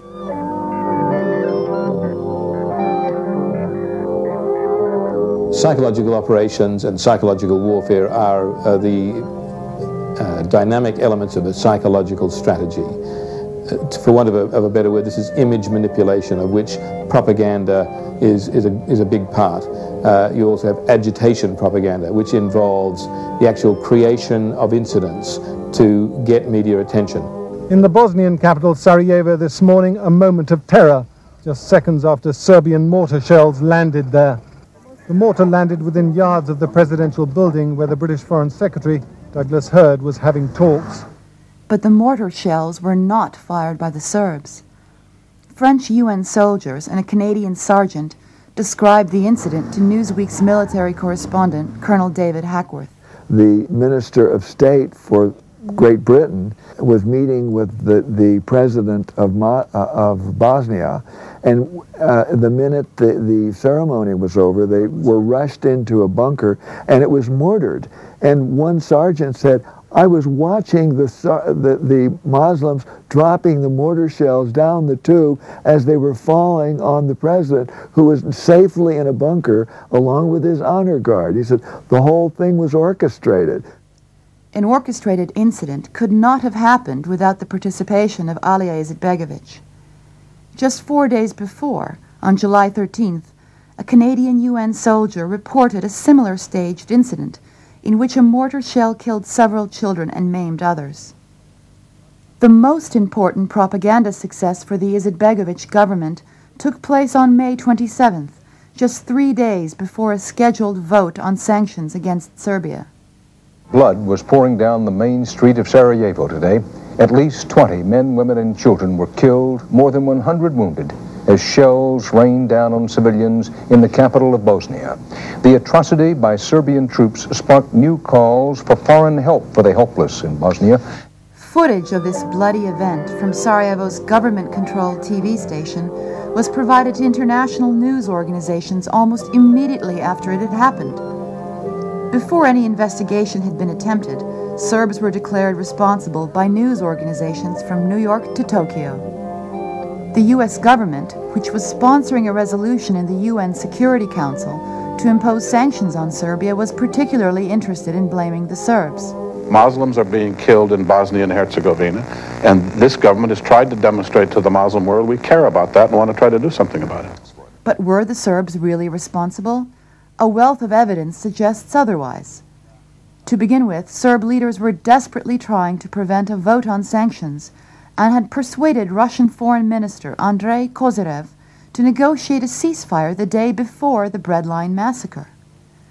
Indeed, no shelling had been reported that day by the UN until the marketplace explosion. More importantly, the physical evidence failed to confirm the initial reports of a Serbian mortar shell. Dr. Borisa Starovic, the dean of the Sarajevo Medical Faculty, who treated victims of the Breadline massacre, wrote later in the American journal Chronicles, quote, I found it very odd that there were no lacerations or puncture wounds on any of the victims. Neither were there any head or chest wounds, only trauma to the lower extremities. The wounds were obviously not caused by artillery shells, they were the result of pre-planted demolition charges. A classified report by UN Commander Satish Nambiar to UN headquarters in New York obtained by the London Independent three months later stated that the Breadline massacre and a number of other bloody incidents had in fact been linked to Muslim forces loyal to Alija Izetbegovic. Other details confirming a staged incident began to emerge as witnesses came forward. The announcement of free bread had been broadcast five times the previous day on the Muslim radio station Hayat.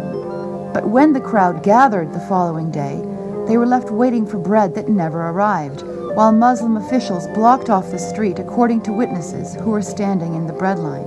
Bili su pripremljena i, i sanitetska kola i, i televizijska i to je sve bilo režirano. Witnesses also observed a two-person television crew taking cover in a nearby doorway, the entrance to the publishing company Svjetlost just before the explosion in the breadline. They were in position to film the gruesome scene almost immediately. There were suspicions because the media happened to be there. The street had been closed off, then it was open, the breadline formed, and then there was an explosion. In fact, three major staged incidents would take place in marketplaces within a two-block radius of the breadline bombing. Each would affect the international response to the war in Bosnia we've found in, in this particular conflict that these incidents occur invariably before a major decision is due to be made by the United Nations, by the European community, or by uh, within the peace talks and something or something of that nature. So, so what we have is an incident which, uh, in which a number of Muslims get killed, the Serbs are blamed, the peace process breaks down. So peace accords are never reached because there is always this incident to break up the momentum. Now, uh, the Serbs have continually got the blame for this. The United Nations has continually responded by saying that these are staged incidents, but the, the United Nations report doesn't get the same impact as the original event. Sanctions against Serbia would have an effect opposite of what the U.S. had hoped. The Bosnian Serbs intensified the war. Despairing of finding a political settlement, and with time working against them, the Bosnian Serbs were encouraged to use their military might to score a quick military victory. Muslim forces, on the other hand, would be encouraged to prolong the war as sanctions wore down the Serbs. Because they had troops on the ground in harm's way, the UN and the European community were anxious to settle the conflict in Bosnia through negotiations that would involve compromise. Serbs would have to give up land they controlled, and the Muslim dominated government would have to give up their claim to rule the whole of Bosnia. The Vance Owen Plan, which was negotiated in December of 1992, would have ended the fighting by an agreement to decentralize power into ten administrative units that would be dominated by the different ethnic factions. Although Radovan Karadzic reluctantly agreed to sign the plan, the Serbs are unhappy with the fact that they were divided into isolated enclaves that would be hard to defend. But it was American opposition to the plan that undermined the UN and European diplomats repeatedly. We were being accused of favoring ethnic cleansing and territorial aggrandizement, and here we were forcing the Serbs back by 39%. Now, I mean, I used to always say, give me an example of a, uh, any plan that has rolled back an undefeated army that amount. If the UN and the European community had been allowed to bring peace to Bosnia, these institutions would have been strengthened. There would have been less need for American influence and an American dominated NATO. A European settlement of the Bosnian War would have helped Germany and France in their plans for a Western European Union, which would enable Europeans to defend themselves. Vance Owen was not made in the United States of America, was not made in USA uh, that the Clinton administration was coming in fresh with its own agenda, and they, the Clinton folks, would decide what was good for Bosnia-Herzegovina, for the Balkans, for the world. Uh, and I think that point of view pervaded the incoming Clinton administration. Domestic politics in the U.S. also played an important role.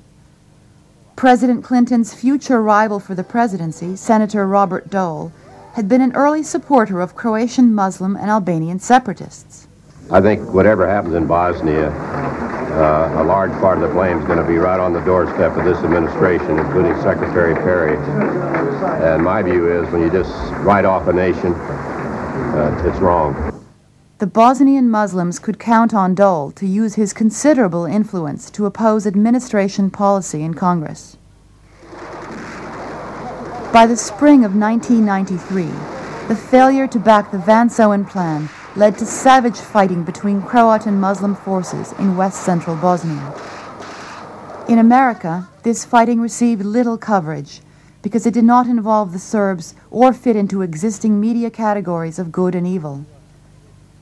Perhaps the most realistic peace plan to end the war was proposed in September of 1993. The Owen Stoltenberg Plan, which would have set up three republics on the model of Switzerland. The capital cities of Sarajevo and Mostar would have been placed under UN control. The agreement was ready for the signing when Lord Owen learned that the Americans were encouraging the Muslim faction, headed by Izetbegovic, to hold out for an additional 4% of territory. Under pressure from the State Department's hardline faction, headed by America's UN representative Madeleine Albright, U.S. Secretary of State Warren Christopher assured Izetbegovic that he had American support in his refusal to sign the agreement. The, the United States clearly sabotaged to the best of its ability any European attempts at reaching a negotiated solution.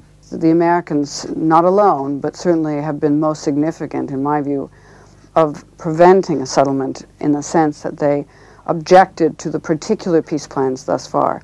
So we have in many ways lost opportunity for what would have been good peace plans.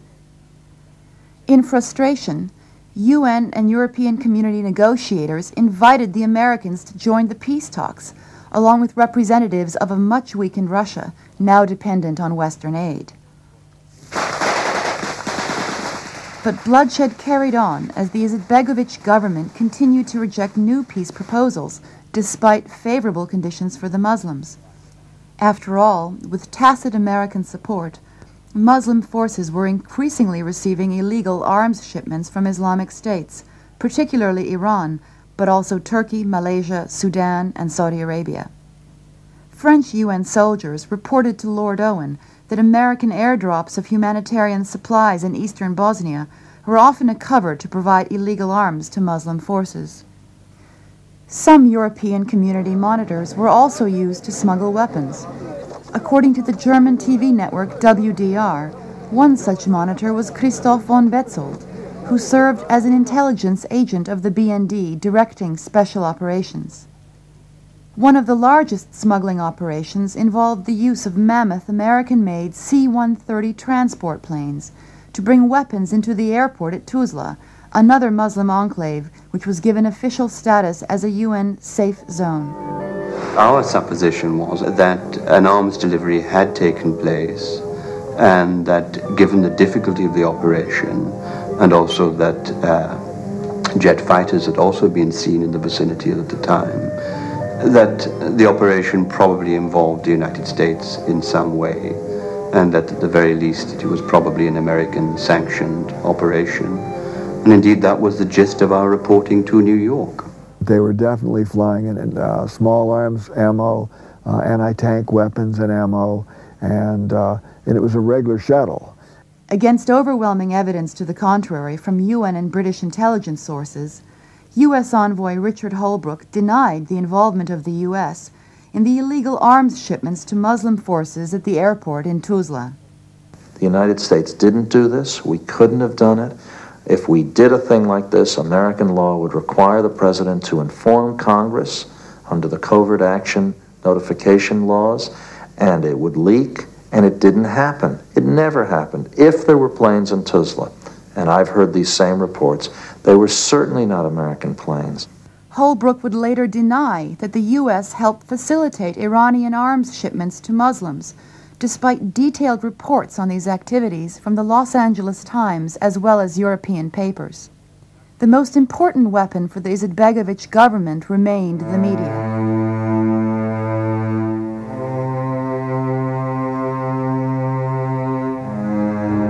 The establishment of so-called safe areas for Muslims, including Sarajevo, provided a trigger for Western intervention. There was nothing safe, however, about these areas. The Serbian residents of these enclaves had already been killed or driven off early in the war. Out of a population of 30,000 Serbs in Bihać, only 1,000 remained, according to reports of the UN High Commissioner for Refugees. Virtually all the Serbs in Gorazde and Srebrenica had been driven off or killed by 1993. Despite the safe zone designation, Muslim civilians could not be protected either, because these enclaves were never demilitarized. Indeed, with weapons smuggled in by Americans, Germans, and Islamic countries, local Muslim militias were encouraged to attack surrounding Serbian villages to provoke a counter response from the Serbs. On February 5th, the Markale marketplace exploded, killing 68 people and injuring several hundred others in downtown Sarajevo. As the dead were being carted away for burial, the crucial question was who was responsible for this brutal act of terrorism? If the Serbs were responsible, an American sponsored UN resolution gave NATO the power to bomb Serbian targets. The U.S. State Department was quick to blame the Serbs. Frankly, it is very hard to believe that any country would do this to its own people, and therefore, uh, although we do not know exactly yet what the facts are, it would seem to us that the Serb and the Bosnian Serbs are the ones that uh, probably have a great deal of responsibility. How are you, Mr. Nice to see you. Senator Dole put pressure on the Clinton administration to act by declaring the Serbs guilty and visiting the ruined marketplace. But both NATO and UN sources obtained evidence that suggested Muslim forces were behind the explosion. General Charles Boyd, who directed NATO's intelligence, concluded that Muslims had staged the incident to force NATO into bombing the Serbs. Sir Michael Rose, the UN's new commander in Sarajevo, reached a similar conclusion. In the report made public, the UN stated that the mortar shell which exploded in the marketplace could have been the responsibility of either Muslim or Serbian forces. In his book, Balkan Odyssey, Lord Owen writes that a senior ballistics expert in Zagreb had studied the likely trajectory of the shell and indicated the trajectory was, quote, more likely to be 1,100 to 2,000 meters from the impact, and this would tend to indicate that the mortar had been fired from a Bosnian government position. I was in receipt of privileged information, really, and I was not going to reveal what was the suspicion. But what I did want was the UN in New York to come under questioning about who was responsible for the bomb. Owen, who was trying to force Serbs and Muslims to agree on a settlement to demilitarize Sarajevo, suppressed the report. He wrote later that the slightest public hint that the Muslims were involved in the Markale marketplace massacre would have led Bosnian government representatives to boycott the negotiations. NATO airstrikes on Serbs were temporarily avoided, but a public which had been kept in the dark about events at the Markale marketplace was left with the impression that the Serbs were guilty. This was a boon to advocates of intervention. Instead of a negotiated settlement to the Bosnian Civil War, hardline members of the Clinton administration began to prepare for a military solution. Even though nobody who really looked closely at Markale uh, from the UN blamed the Serbs, uh, it was automatically uh, subsumed into uh, Serbian atrocities. Using sticks and carrots, a shotgun marriage was arranged between the Croatian forces and the Bosnian Muslims, known as the Croat Muslim Federation. Croatian President Tudjman was promised that he would have American help in his efforts to seize the predominantly Serbian Krajina region, which was part of the UN protected area, a bloody operation that was more than a year away. Croatia would also be given de facto control of Western Herzegovina. Two months after the Markale marketplace explosion, the Bosnian government would have its first success in getting NATO to intervene against Bosnian Serb targets near Gorazde. With help from an American military advisor, Muslim forces launched attacks against six Serbian villages around Gorazde. When Serbian forces responded, American television broadcasts portrayed fighting around Gorazde as if it were an unprovoked attack on a safe zone. The Serbs punished Gorazde throughout the day. At one stage, shells were raining down at the rate of one every 20 seconds. Shells are now dropping at random into the city center. The hospital has taken direct hits on its roof. There was a dramatic transmission from a ham radio operator supposedly based in Gorazde.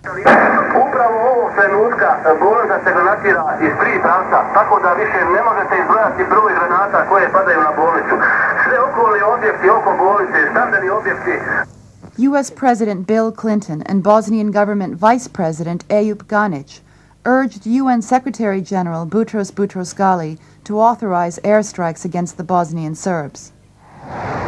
NATO airplanes did indeed launch a limited airstrike against Serbian targets. But further airstrikes were called off by Commander Michael Rose, who realized that Muslim forces had manipulated UN agencies with false casualty and damage reports.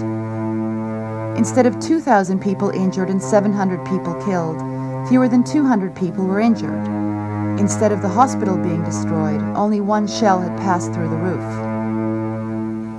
As he flew by helicopter into Gorazde following the fighting, Rose was asked about U.S. satellite reports that nearly every house in Gorazde was damaged. Yes, practically every house in Gorazde has been damaged, but the most of the damage to Gorazde was done in the fighting that had taken place some two years before, when the Bosnian government uh, forces drove the Serbs from this town and there were 12,500 Serbs at that time living here, and they were all driven off. The, the, way to distinguish a house that's been damaged by fighting, where a shell has hit it, and a house that's been damaged by ethnic cleansing, is if it's got no roof, no doors, no window frames, and nothing in the house at all. And there are burn marks up it and bullets spread around the walls. That is the house that's been damaged by ethnic cleansing. A house that's been damaged by shelling has a shell hole in it, and there are still people trying to live in that um, building with their furniture because they've got nowhere else to go. That's something you can't see from satellites. And of course, at that time, the international image of what had happened in Gorazde was very different from the reality.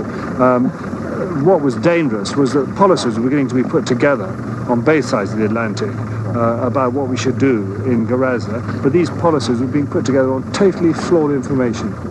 According to respected British military analyst Jonathan Eyal, the ham radio operators whose live reports were carried on American television networks were not even based in Gorazde.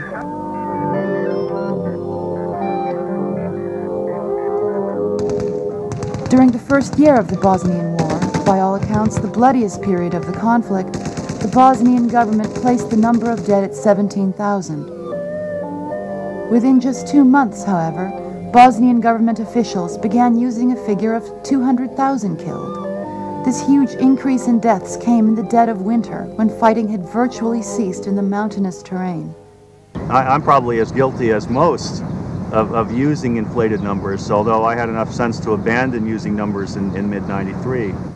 In a groundbreaking article which appeared in the New York Times Sunday magazine in the fall of 1994, George Kenney criticized the way inflated casualty reports were used by most major news organizations. A number of, of very high profile journalists quickly picked up Bosnian government numbers and began to use them routinely. John Burns of the New York Times, Carol Williams of the LA Times, even John Pomfret of the Post, who's normally a very cautious journalist, got in on this after a certain period. So with these uh, very well-respected journalists saying, okay, there have been 150,000, 250,000 200,000, whatever, people killed, those were the numbers that stuck.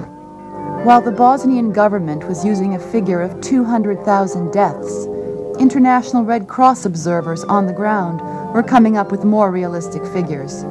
The, the, International Committee of the Red Cross internally, and they've made it very clear that they're not going public with this, but their analysts were quite eager to talk with me and to be straightforward about their analysis. Their numbers are the lowest of any. They say 20 to 30,000 total with an upper limit of 35,000. The figures now, it depends who you want to hear and believe. It's, it's, it's ranging around 300,000. Uh, probably the truth of the matter is you'll be hard pressed to find more than 30,000 graves. It's been exaggerated by that percentage. Now, the, the European military intelligence would say, let's add in every possible hypothetical uh, uh, number of people that could be killed, and they get up to about 60,000. Uh, the U.S. intelligence community was sort of agnostic, saying the tens of thousands, but you know, they, they, they didn't want to commit to any particular number, even, even unofficially. As the U.S. government began to more actively assist Muslim and Croat forces, British intelligence accused the American CIA of doctoring intelligence reports to justify American intervention. The CIA did a report that said 90% of the ethnic cleansing had been done by Serbs in Bosnia-Herzegovina. Uh, we now know that that study was only done in areas now held by Bosnian Serbs. Serbs who were expelled from Muslim and Croat areas were not included in the CIA report, even though international agencies stated that 40% of the refugees from the war were Serbian unless one assumes that the vast majority of Serb refugees left voluntarily and were not victims of ethnic cleansing, uh, there, there's a very large disparity in the figures. The study itself does not represent what actually happened throughout Bosnia-Herzegovina because it was not done in the other areas. But to acknowledge that ethnic cleansing has taken place uh, on all sides in the struggle would, uh, would muddy the waters. It would uh, cast doubt on the, uh, the status, for example, of the Bosnian Muslims as, as pure victims and the Serbs as pure aggressors.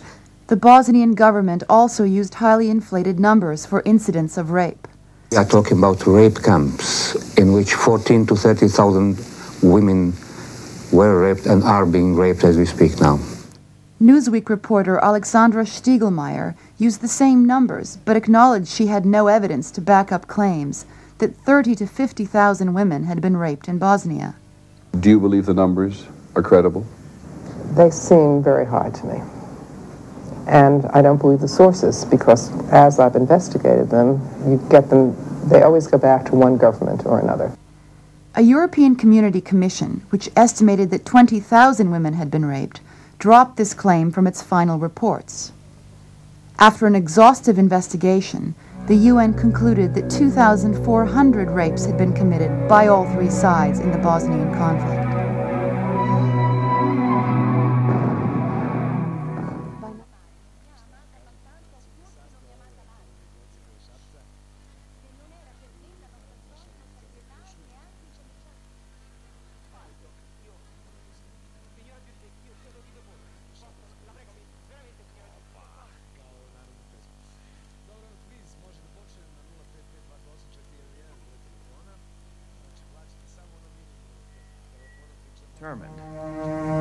That we should not take sides in this war by becoming a combatant. And we have held firmly to that position, and we plan to continue to hold firmly to that position.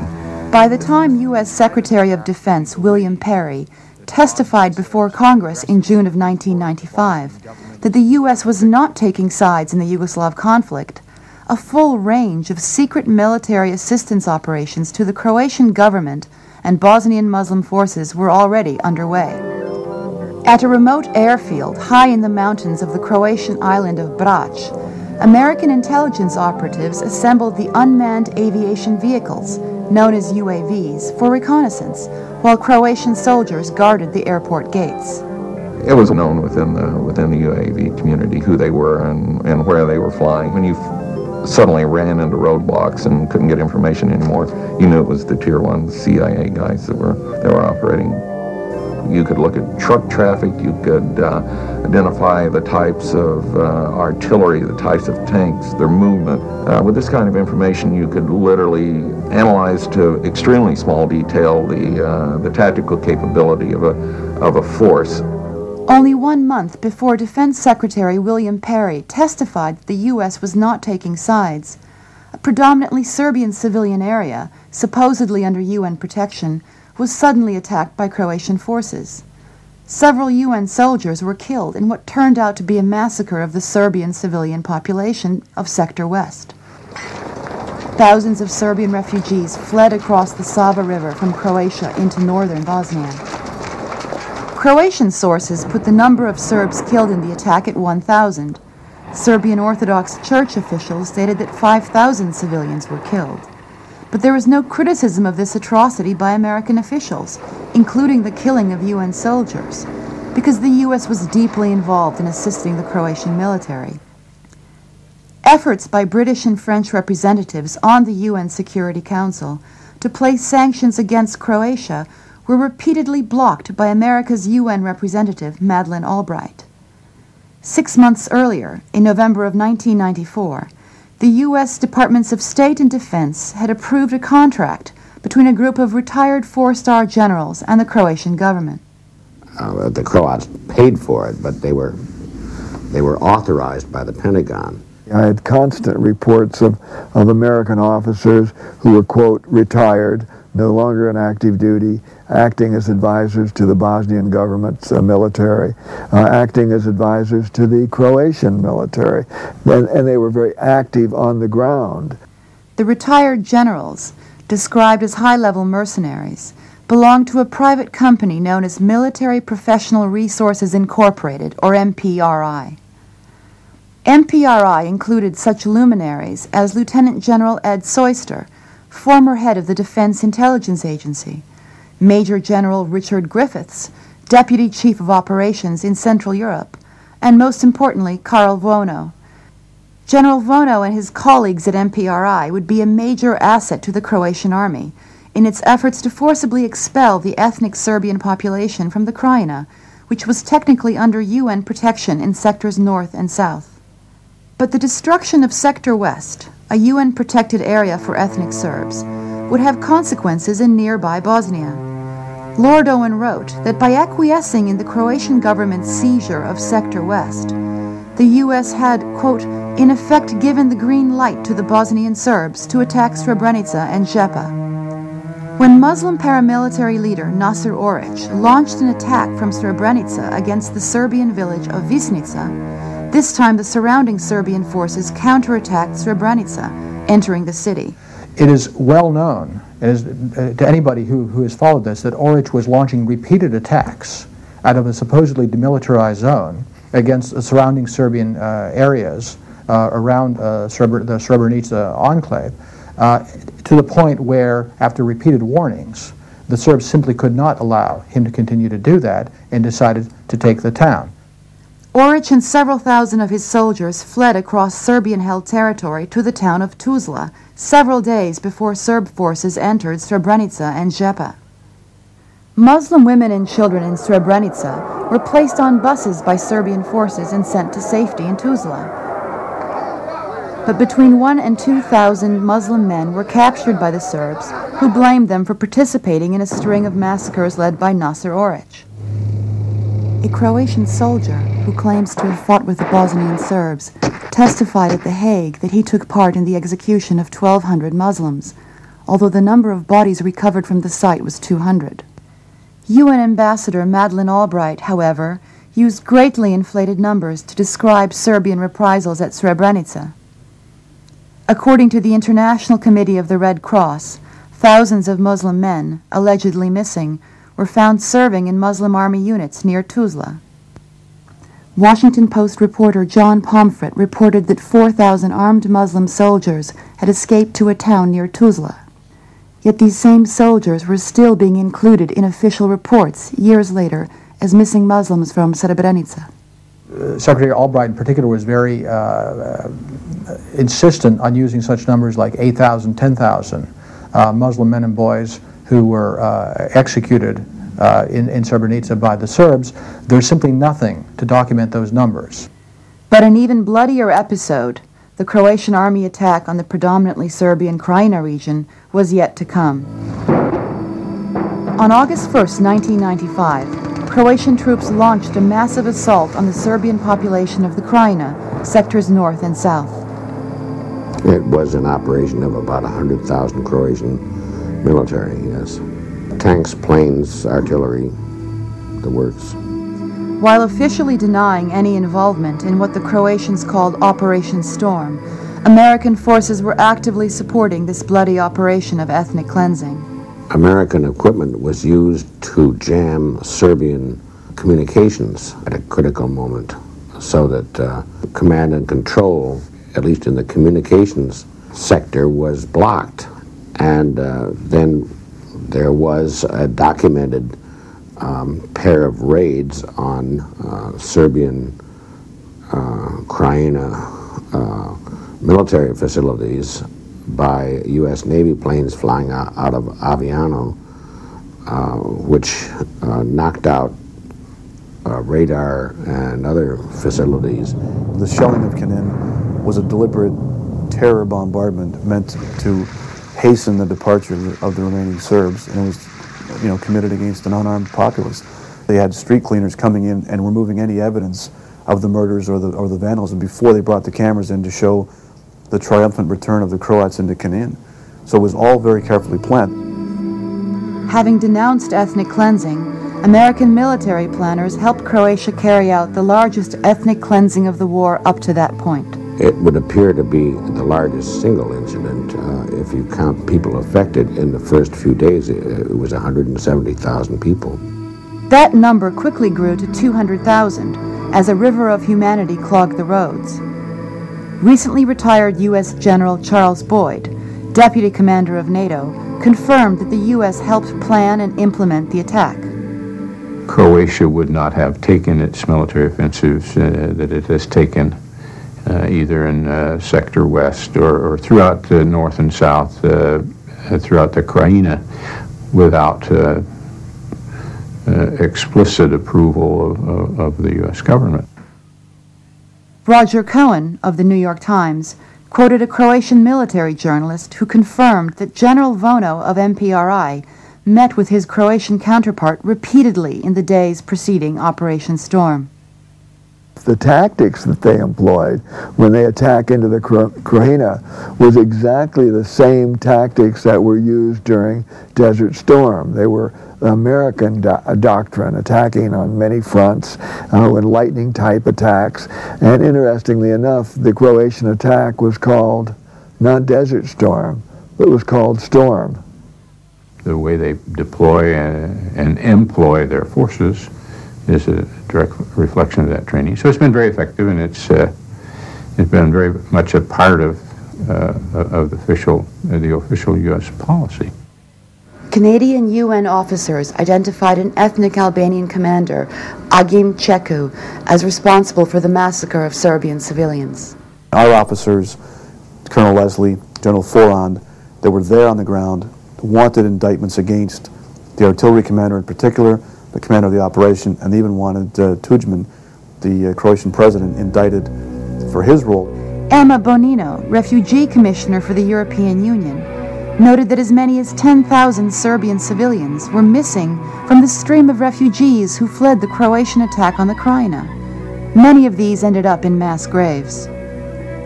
When you go to the villages, you will see uh, on the, the cemeteries the graves without any names. Mostly it's 90%. Sometimes when I'm thinking about what happened there, I think also about the role of the Americans in preparing of our army. So I really don't know how they educate our soldiers, but if it is the education for democracy, they educate very bad. Well, I don't think that the American people have drawn that correlation of, of those incredible war crimes that happened recently in the Krajina and the fact that the, the Croatian army was trained and advised by uh, and virtually almost led by uh, former American military leadership. They have, in fact, been accomplice to a massive ethnic cleansing of Serbs from Croatia who had lived there for many, many centuries. It was their home. I think we need to, to step back and, and be representative of principle um, because we only, not only deny our own principles that way, but we create more problems than we solve.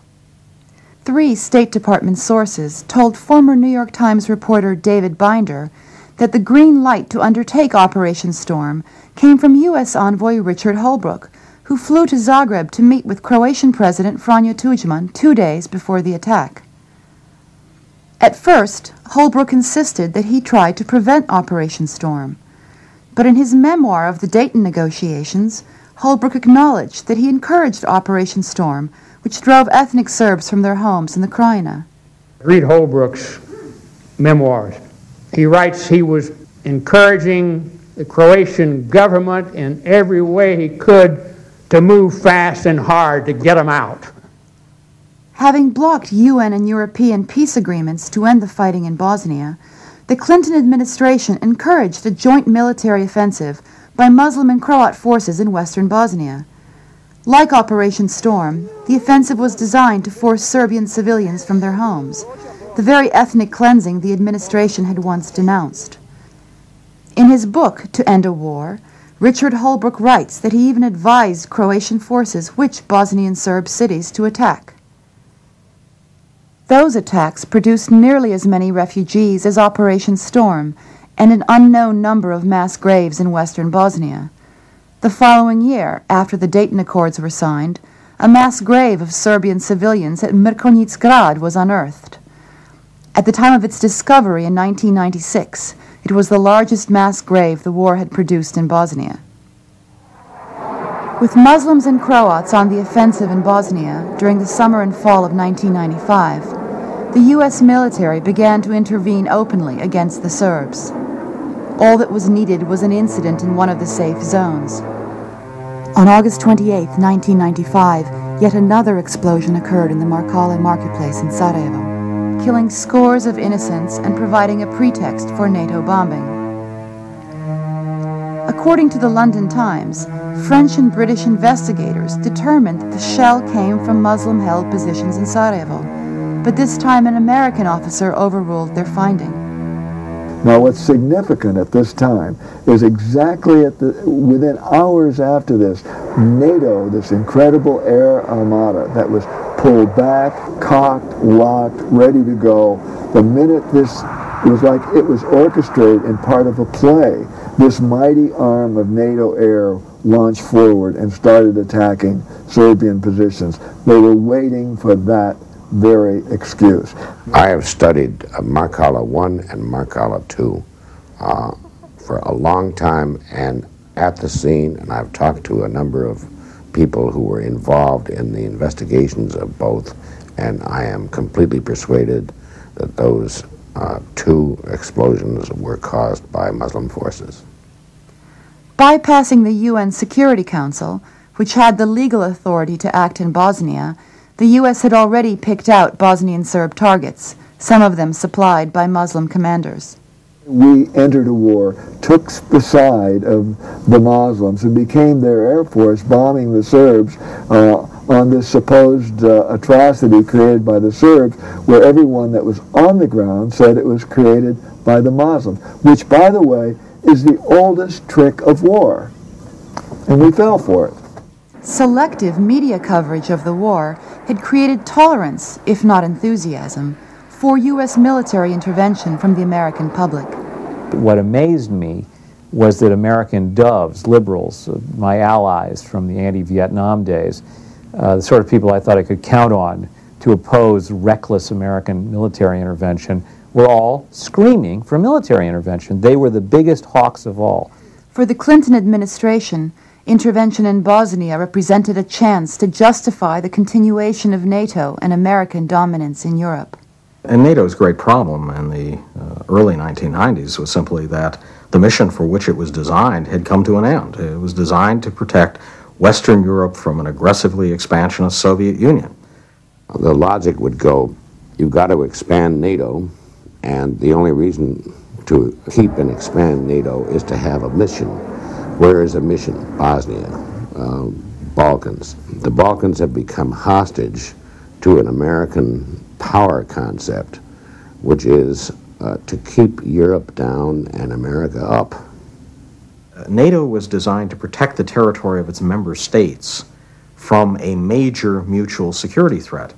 It was not designed to intervene to project force into a civil war outside the NATO treaty area, and yet that is what it has sought to do as an agent of the United Nations to complicate matters even further in the former Yugoslavia. Not surprisingly, this has not worked out very well. Senior military officers were amongst those most wary of administration policy. I think the mess we have today is a result of political errors. I think we were all too quick to recognize these individual republics as they declared their independence and, and asked for recognition. We failed to uh, think through the history of this region. And so it's a little, a little strained to have that political context and then ask the military to go solve the problem. We encouraged nationalism. We encouraged in the, in the guise of self-determination. We never said to countries uh, or to ethnic groups around the world that it's useful to have an idea larger than yourself or than your own language or your own religion in organizing a government. Because the Dayton Agreement was achieved literally at the point of a gun, rather than by genuine compromise, it was inherently unstable, dependent on outside force to keep the Bosnian Serb and Muslim Croat republics from colliding under a central government dominated by Alija Izetbegovic. To win the backing of Congress for deployment of U.S. forces in Bosnia in December of 1995, President Clinton promised that the troops would be back by December 1996, a month after his election. But four years after their deployment, U.S. troops remain in Bosnia. NATO is an, is an army of occupation, very much an army of occupation. Uh, it's not a peacekeeping force, it's an occupying force. 90% of the financial aid went to the Muslim Croat entity. Serbs were singled out by the International War Crimes Tribunal, whose staff was dominated by Americans. Yet, by the end of the war in Bosnia, a survey conducted by the U.S. Information Agency of Serbs, Muslims, and Croats reported that on a percentage basis, Serbs were more likely to have lost a family member during the conflict than either Croats or Muslims. The tribunal was controversial among legal experts from the outside because it was set up under the UN Security Council, where permanent members such as the US, England, and Russia could use their veto power to block investigations of their own military activities or those of their client states. An international court, illegal in its conception. The Security Council has no authority under the UN Charter to create a criminal court. There would never been a UN if it had tried to establish that authority, because none of the powers in World War II would have abided by it for a moment. But the United States, in its endeavor, because it was the, it was the country that pushed for the, for the establishment of the tribunal. Madeleine Albright, then Ambassador Albright, was the single person most responsible, without any question, for the setting up, for the establishment of the tribunal.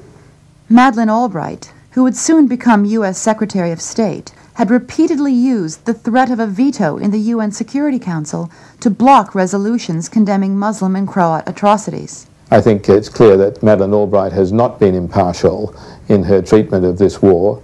Uh, she's been extremely one-sided, and in fact, uh, so too have a number of people within the U.S. administration.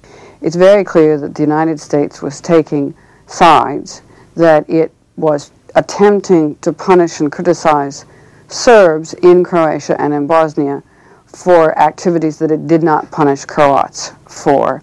There have been complaints on the Serb side that we were, we, we were less uh, uh, efficient in investigating uh, uh, war crimes committed against Serbs, which undoubtedly happened. One of, one of the reasons it was difficult was the non-cooperation from, from the Federal Republic of Yugoslavia. But critics say that the War Crimes Tribunal failed to investigate well-documented reports by both the Yugoslav State Commission on War Crimes and independent human rights groups.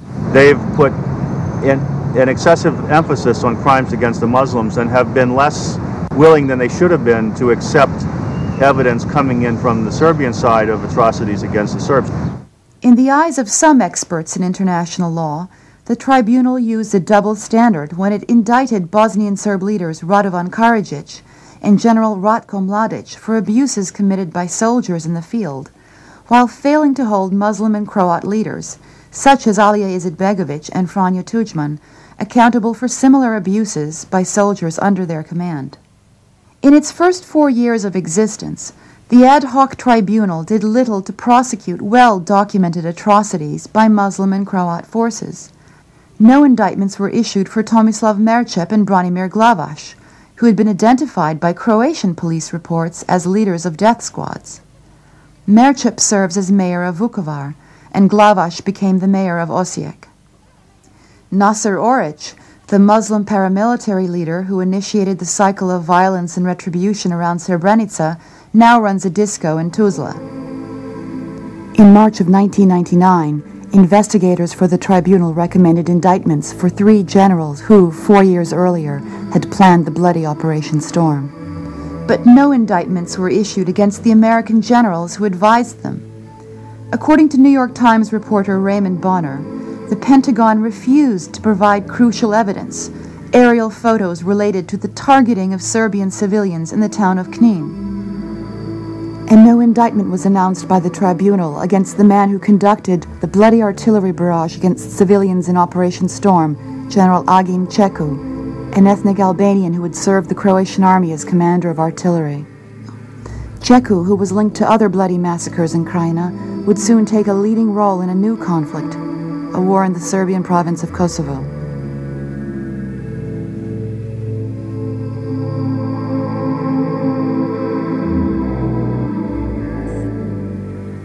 The Dayton Accords, which finally halted fighting in Bosnia, significantly changed the power base of Serbian President Milosevic.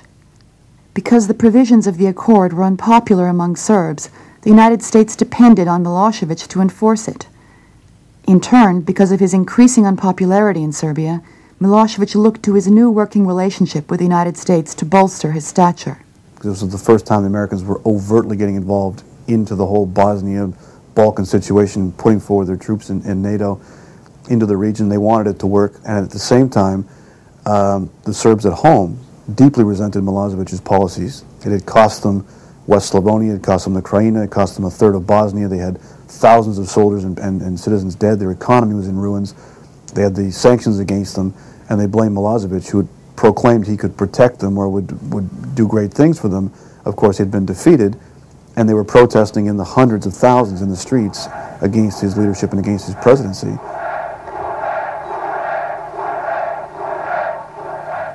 For once, quarreling members of Serbia's political opposition put aside their differences and managed to win local elections in key cities, including Belgrade, Niš, and Novi Sad.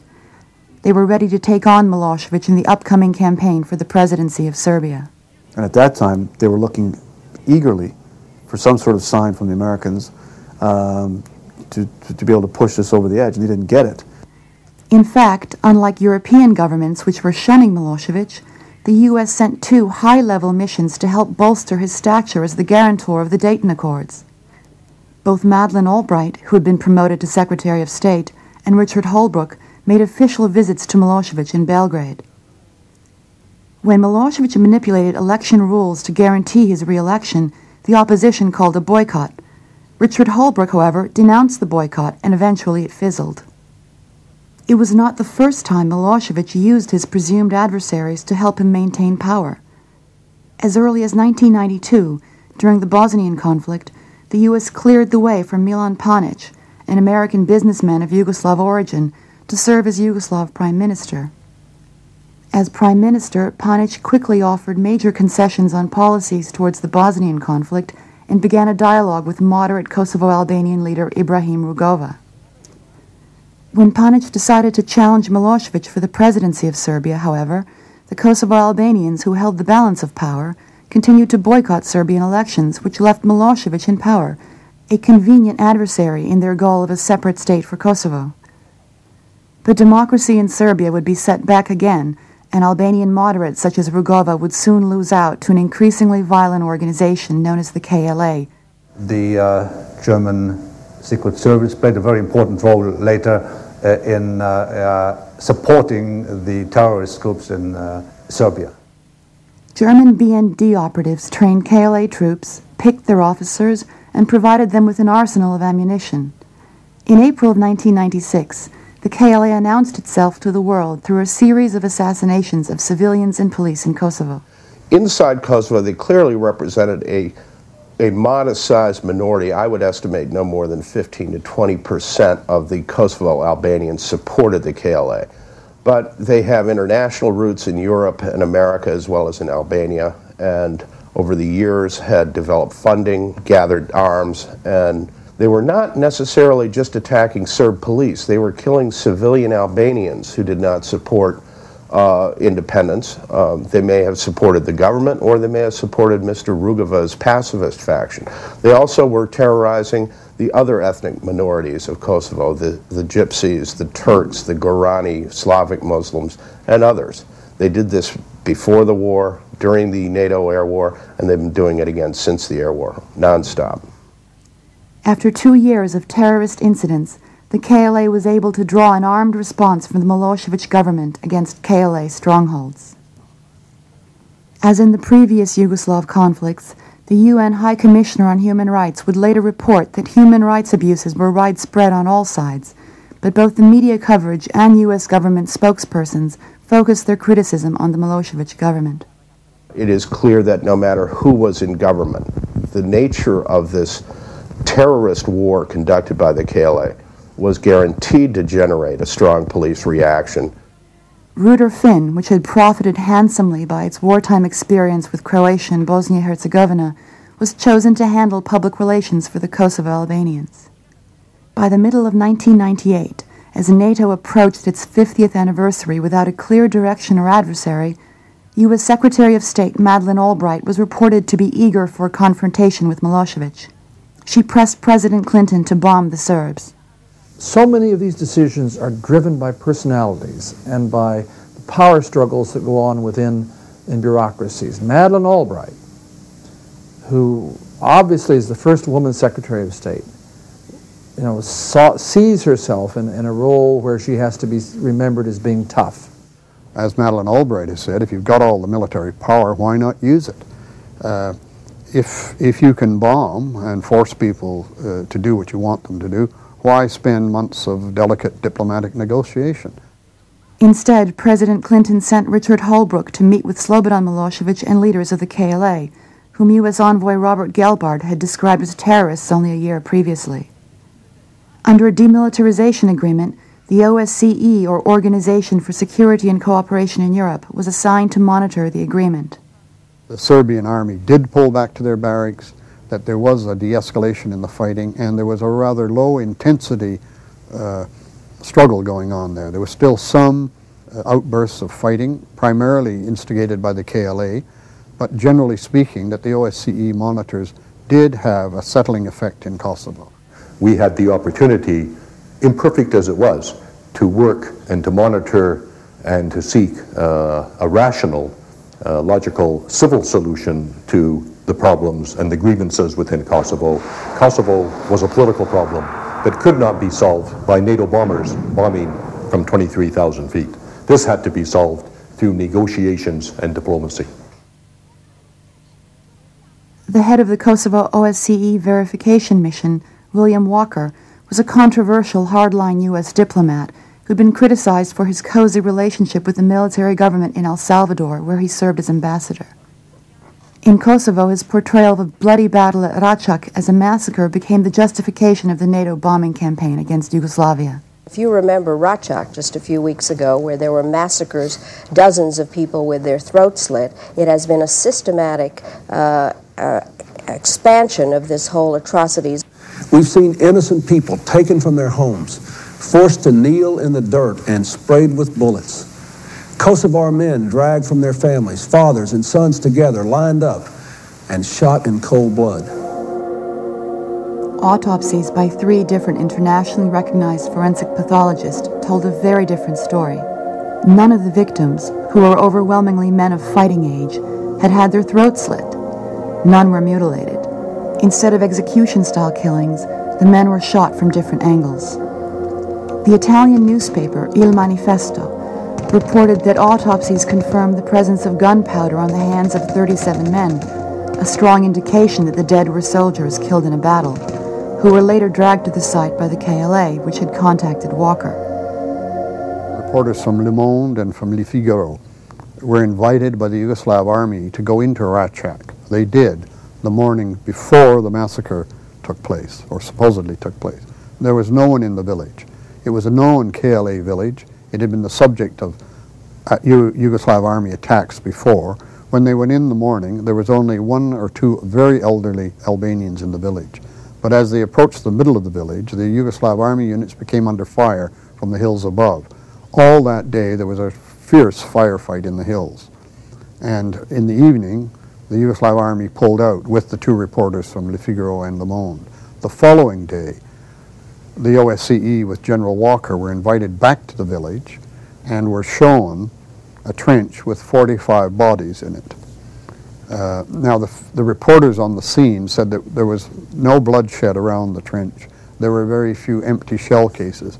They became immediately suspicious that this was a setup, that what was in the trench were bodies of the Albanian casualties of the fighting the day before. And they have reported it as such. But General Walker immediately went back and announced to the world that there had been a frightful massacre of Albanians. Ironically, William Walker, who had been accused in the past of covering up massacres by the El Salvador government, was now suspected of transforming the story of a bloody gun battle into a civilian massacre at a crucial time for U.S. and NATO policies in the region. Well, it's very important because I think everybody pretty well agrees that without the Račak massacre, there would have been no bombing of Yugoslavia. The press coverage of the Račak incident strengthened the Clinton administration hardliners. Under the threat of bombing, the Serbs were now pressed by Secretary Albright to sign a document drafted by the State Department. This document, known as the Rambouillet Accords, would place NATO troops in Kosovo and effectively permit the Albanian majority to separate from Serbia through a referendum within three years. State Department insiders acknowledged later the Rambouillet Accords were drafted in a way that they expected the Serbs to reject. Publicly, we were seeking an agreement, said State Department Secretary James Rubin, but privately we knew the chances of the Serbs agreeing were quite small. To ensure that Serbs would reject the pact and to pave the way for NATO bombing, a new demand, Appendix B, was added by the United States, which gave NATO, quote, free, unrestricted passage, unimpeded access throughout the whole of Yugoslavia, including associated airspace and territorial waters. In other words, an open ended occupation of the entire Yugoslavia. If we look at the documentation and the ultimatums presented, we know that this was a disingenuous exercise in blunt, brute power. It was never uh, a realistic proposal for peace. There were never accords, they were a diktat that, to which the Yugoslav government nor any other sovereign state could ever agree. The threat of force in negotiations, known as gunboat diplomacy, has been used in the past by major powers, including Nazi Germany, but legal experts observe that it was explicitly outlawed by the UN Charter following World War II. The integrity of a sovereign state is not subject to attack by any other country that doesn't like it. You can't threaten it, you can't attack it. Uh, the launching of that kind of attack is aggressive war. My fellow Americans, today our armed forces joined our NATO allies in airstrikes against Serbian forces responsible for the brutality in Kosovo. We have acted with resolve. By acting now, we are upholding our values, protecting our interests, and advancing the cause of peace.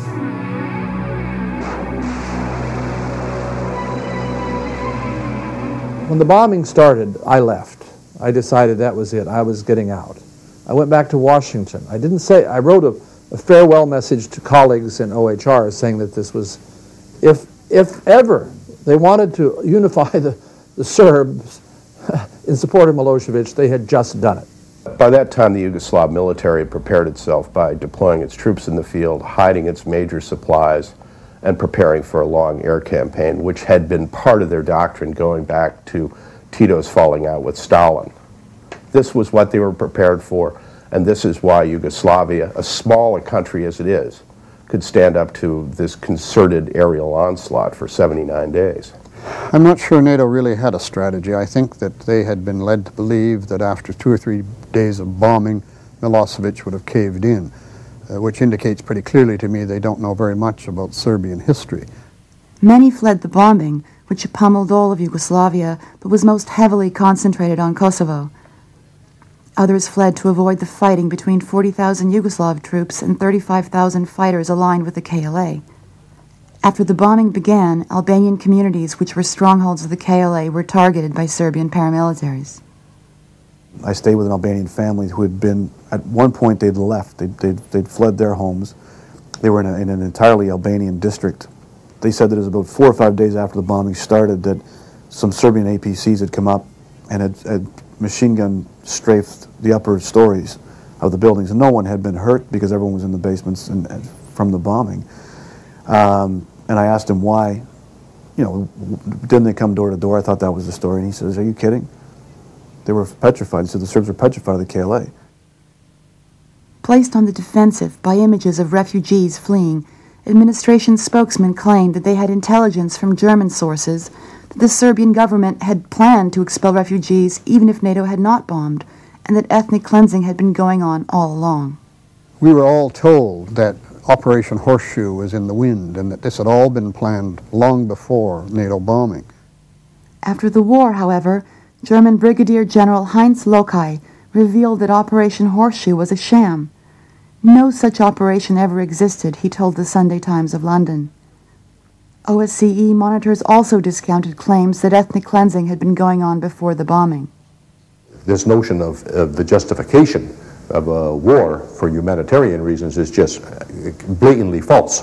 The uh, United Nations uh, Commission for Human Rights uh, recorded their first external refugee on, on March the 28th, three days after the air war started. To protect their own pilots from casualties, NATO bombing took place at high speeds and high altitudes. This politically motivated strategy posed little threat to the Yugoslav military, but NATO bombs dropped from high altitudes would kill hundreds of civilians, including Albanian refugees in Jakovica and Korisha. At first, the U.S. Department of Defense tried to blame the Serbs, but reporters on the scene found cluster bomb fragments with British markings. The claim that NATO was targeting only military facilities was one of many falsehoods that were used to build public support for the bombing campaign. They ran out of military targets within the first couple of weeks. And uh, I mean, this is now common knowledge that NATO indeed expanded their targets uh, to stage three, which was civilian targets. They ran out of targets. Otherwise, they wouldn't have been hitting little bridges across rivers in Serbia on a Sunday afternoon or hitting marketplaces in Niš. The plan was to first put pressure on the population and second to, to destroy uh, Yugoslav economy so deeply, so uh, intensively that uh, Yugoslavia would have to bear for, for a long period of time to recover and that it could recover only uh, on the help from outside. NATO bombs and missiles struck the foundations of the country's economy, destroying petroleum refineries and chemical and heating plants. These attacks left a trail of environmental devastation. The use of cluster bombs dropped from high altitudes in civilian areas had devastating consequences in population centers such as Niš in southern Serbia and Pristina, the capital of Kosovo. I mean, I know there was a proliferation of cluster bombs used against Pristina, and there was all kinds of these empty casings that showed still, still clearly the American markings. Scores of schools, hospitals, and apartment buildings were hit in what NATO described as accidents of war, but which were the predictable result of NATO's strategy of high altitude bombing. Military experts say the methodic destruction by NATO bombs of a full passenger train clearly crossed the line between legal and illegal warfare. The pilot had hit the wiring which had immobilized the train, so it was a sitting duck, made a second pass, and it deliberately attacked the jammed passenger cars and, and basically murdered unarmed people. They weren't just targeting his military targets. When they're starting to take out police buildings in Belgrade, Foreign Affairs Ministry in Belgrade, TV stations. 16 people were killed when the Radio and TV Serbia television station was struck by NATO cruise missiles. They killed several technicians and cameramen and a makeup artist. Her hands were found over 100 yards away in a park. Two people there, and this was late at night, uh, were vaporized. None of their remains have ever been found. A variety of reasons were given for destroying the civilian target, but NATO officials were clearly concerned when Radio and Television Serbia permitted international news media, such as CNN and CBS, to broadcast images of other civilian casualties to the U.S. and NATO countries. When they began to make journalists a legitimate target, it became, you know, truly an information war. It was after that bomb that Yugoslavia allowed more reporters in and started to get more of the story out from its point of view. But it's also after that bombing that uh, the International Criminal Tribunal issued its uh, war crimes indictments against Mr. Milosevic and other key officials in the government. Although the Ad hoc War Crimes Tribunal is prohibited from taking instructions from individual governments, following a meeting with President Clinton, the tribunal's prosecutor, Louise Arbour, announced an indictment against President Milosevic and his military leaders. The timing of the indictment was controversial because the war still raged and there was little opportunity to gather reliable evidence.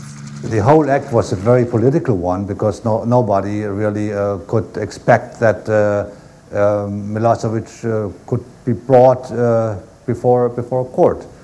So it was nothing else than uh, propaganda again and to enhance the pressure on Yugoslavia and to influence public opinion. It will help to deter future war crimes by establishing that those who give orders will be held accountable. Would NATO leaders also be held accountable for violations of international law? Amnesty International, Human Rights Watch, and the UN High Commissioner on Human Rights charged that NATO bombing had violated international law. According to Human Rights Watch, at least half the 500 civilian deaths attributed to NATO bombing could be considered war crimes. The attack by a coalition of parties led by the United States, to me, is outright aggression. The Yugoslavs, the Serbs in particular, did not attack any NATO country whatever and didn't threaten any of them. Uh, they decided they were going to change policies in Yugoslavia and did it by military means. That is the first war crime. Second, in the bombing, although they were fairly cautious for the first couple days in the targets they selected, ultimately they selected widespread non-military targets. But the ad hoc Yugoslavia Tribunal, largely funded and staffed by NATO countries, failed to conduct a formal investigation of NATO actions. Carla Del Ponte, the current prosecutor at the International Criminal Tribunal, has been forced to review some evidence and has come out with a finding that dismisses any further investigations for now.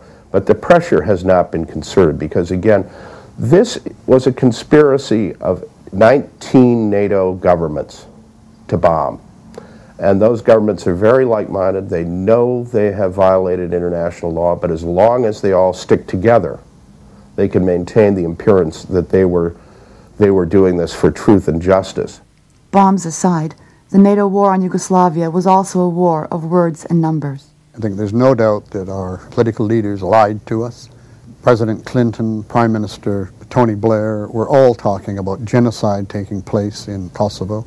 Even by NATO's own figures, prior to the bombing, they estimated that there were a total of 2,000 casualties in Kosovo, Serbs and Albanians, which isn't, unfortunately, when we're talking figures of people being killed, they're all bad, but 2,000 is a pretty low intense, intensity figure. The, the exaggeration of the figures continued during the war as a justification for the bombing. We had a soccer stadium story right at the end of March, about the 30th or 31st it was alleged that 100,000 Albanian men were already missing, that they'd been jammed by the thousands into the soccer stadium at Pristina. And a variation of the story reported over 5,000 in another soccer stadium in Pech. An Agence France Presse reporter who managed to stay in Yugoslavia actually went the following day to the Pristina soccer stadium, found the infield grass in perfect condition, found the lone caretaker uh, there who confirmed, of course, the place had been empty since before the bombing began. NATO spokespersons announced that Albanian moderate Ibrahim Rugova and four other top Albanian officials had been executed by the Serbs. Reliable sources report that, and you'll have to excuse my pronunciation, Fehmi Agani, a member of the Kosovo Albanian delegation at Rambouillet, principal Rugova advisor and peace negotiator over much of the past year, was executed on Sunday. All were still alive, however. Rugova was soon shown on Serbian television in discussions with Serbian President Milosevic. The Western public were told that we were, we were bombing in the name of humanity, that we had to stop genocide. But after the Serb army pulled out of Kosovo and uh, the forensic teams were the first to rush in, uh, there have been very few bodies found. And we'll never know how many people were killed but the figures that NATO announced were highly exaggerated. Instead of 100,000 dead or missing, after more than a year of digging later, the War Crimes Tribunal found 2,108 bodies, which included combatants and Serbs as well as Kosovar Albanians. Moreover, the total missing, according to the International Committee of the Red Cross, is 3,368, a number which includes all ethnic groups in Kosovo. NATO's intervention ended in June with Kosovo under nominal control of the UN, terms that the Serbs had been willing to give them before the brutal bombing campaign began. The United States was looking to punish Yugoslavia, was, was looking, I believe, to complete the process of wresting Kosovo away. And in the final essence, 79 days later, they weren't quite able to achieve that objective because Yugoslavia put up too much resistance and there was enough diplomatic support for Yugoslavia among the Russians and Chinese that so far they have been able to obstruct the formal secession of Kosovo from Yugoslavia. Almost a year after the bombing, Newsweek magazine obtained a secret report the U.S. Department of Defense had commissioned, which showed that the number of Yugoslav tanks and artillery destroyed by NATO was only a tiny fraction of the stated claims. Instead of 120 tanks destroyed, there were only 14. Instead of 450 artillery pieces destroyed, there were only 20. Newsweek reporters John Barry and Evan Thomas stated that NATO had been quote, terror bombing civilians. Air power, they noted, was effective in the Kosovo War not against military targets, but against civilian ones. When the war concluded, Serbian units were compelled to leave Kosovo, but the Pentagon permitted armed units of the KLA to enter. There is little doubt that the Pentagon knew that this decision would enable the KLA to attack Serbs and Kosovo's other ethnic minorities. Pentagon briefers sought to prepare public opinion for new atrocities ahead.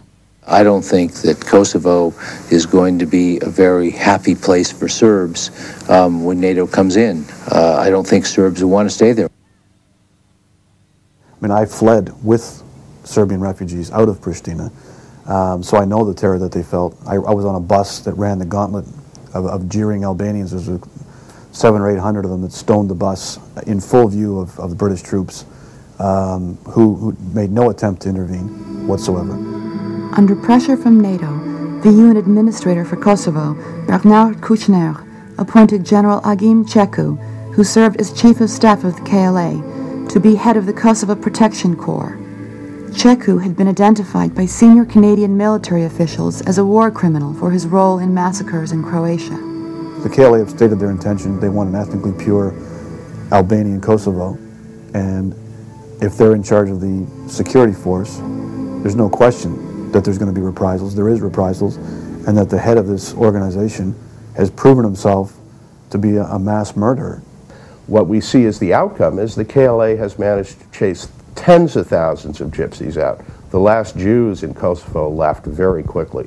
The Croatians have left, uh, they being Catholic. Slavic Muslims and Turks are being chased out. And what it really is, is anybody who speaks Serb is either murdered or chased out. And uh, everybody now understands this. The UN High Commissioner for Refugees reported that in January alone, a thousand Turks and Gorani Muslims had to leave their homes because of KLA terrorism. And the United States has presided over the, most in, the, the erection of the most intolerant society in Europe. The Albanian refugees had returned with a NATO escort following the war, but nearly a year later, a quarter million of Kosovo's minority population had fled, including two thirds of Kosovo's Serb population. Despite the attacks on minorities, NATO officials, including NATO Commander Wesley Clark, continued to work closely with Hashim Thaci and Agim Ceku. And I think there's no question that, that the Serbs, the Slav Muslims, the Gypsies have been cleansed out of Kosovo. And this has taken place despite the fact that there are 40,000 NATO troops in Kosovo. In an attempt to remove any reminder of the Serbian presence in Kosovo since 700 AD, the KLA has destroyed or damaged 70 churches and monasteries. In one year of occupation by NATO, more religious artifacts were destroyed than under 600 years of Turkish occupation. History is going to have to analyze very carefully the decisions that were made in leading us to that, what I consider to be an immoral, illegal, unconstitutional, ineffective, incomprehensible, indefensible policy by using force and taking sides in an ethnic conflict, NATO had drawn the wrong lessons from earlier conflicts in Bosnia and Croatia. If the uh, Europeans and the Americans et al., the United Nations, had not intervened in Yugoslavia, uh, there would have been far fewer people killed, there would have been far less ethnic cleansing, there would have been some extremely unhappy and dissatisfied people uh, who felt that they had been done out of their country or their livelihood or whatever it might be. But there were going to be a, a very large number of dissatisfied and unhappy people at the end of all this. Uh, and um, perhaps the moral of it all is that you should think very carefully before you intervene in a civil war. I think it's very important for the United States to recognize that in, in ethnic and national, nationalist conflicts that you must if you want to end wars and stop violence, you must be impartial. Because then you do not feed, by taking one side, you do not feed the nationalist dynamic and you do not lead to peace.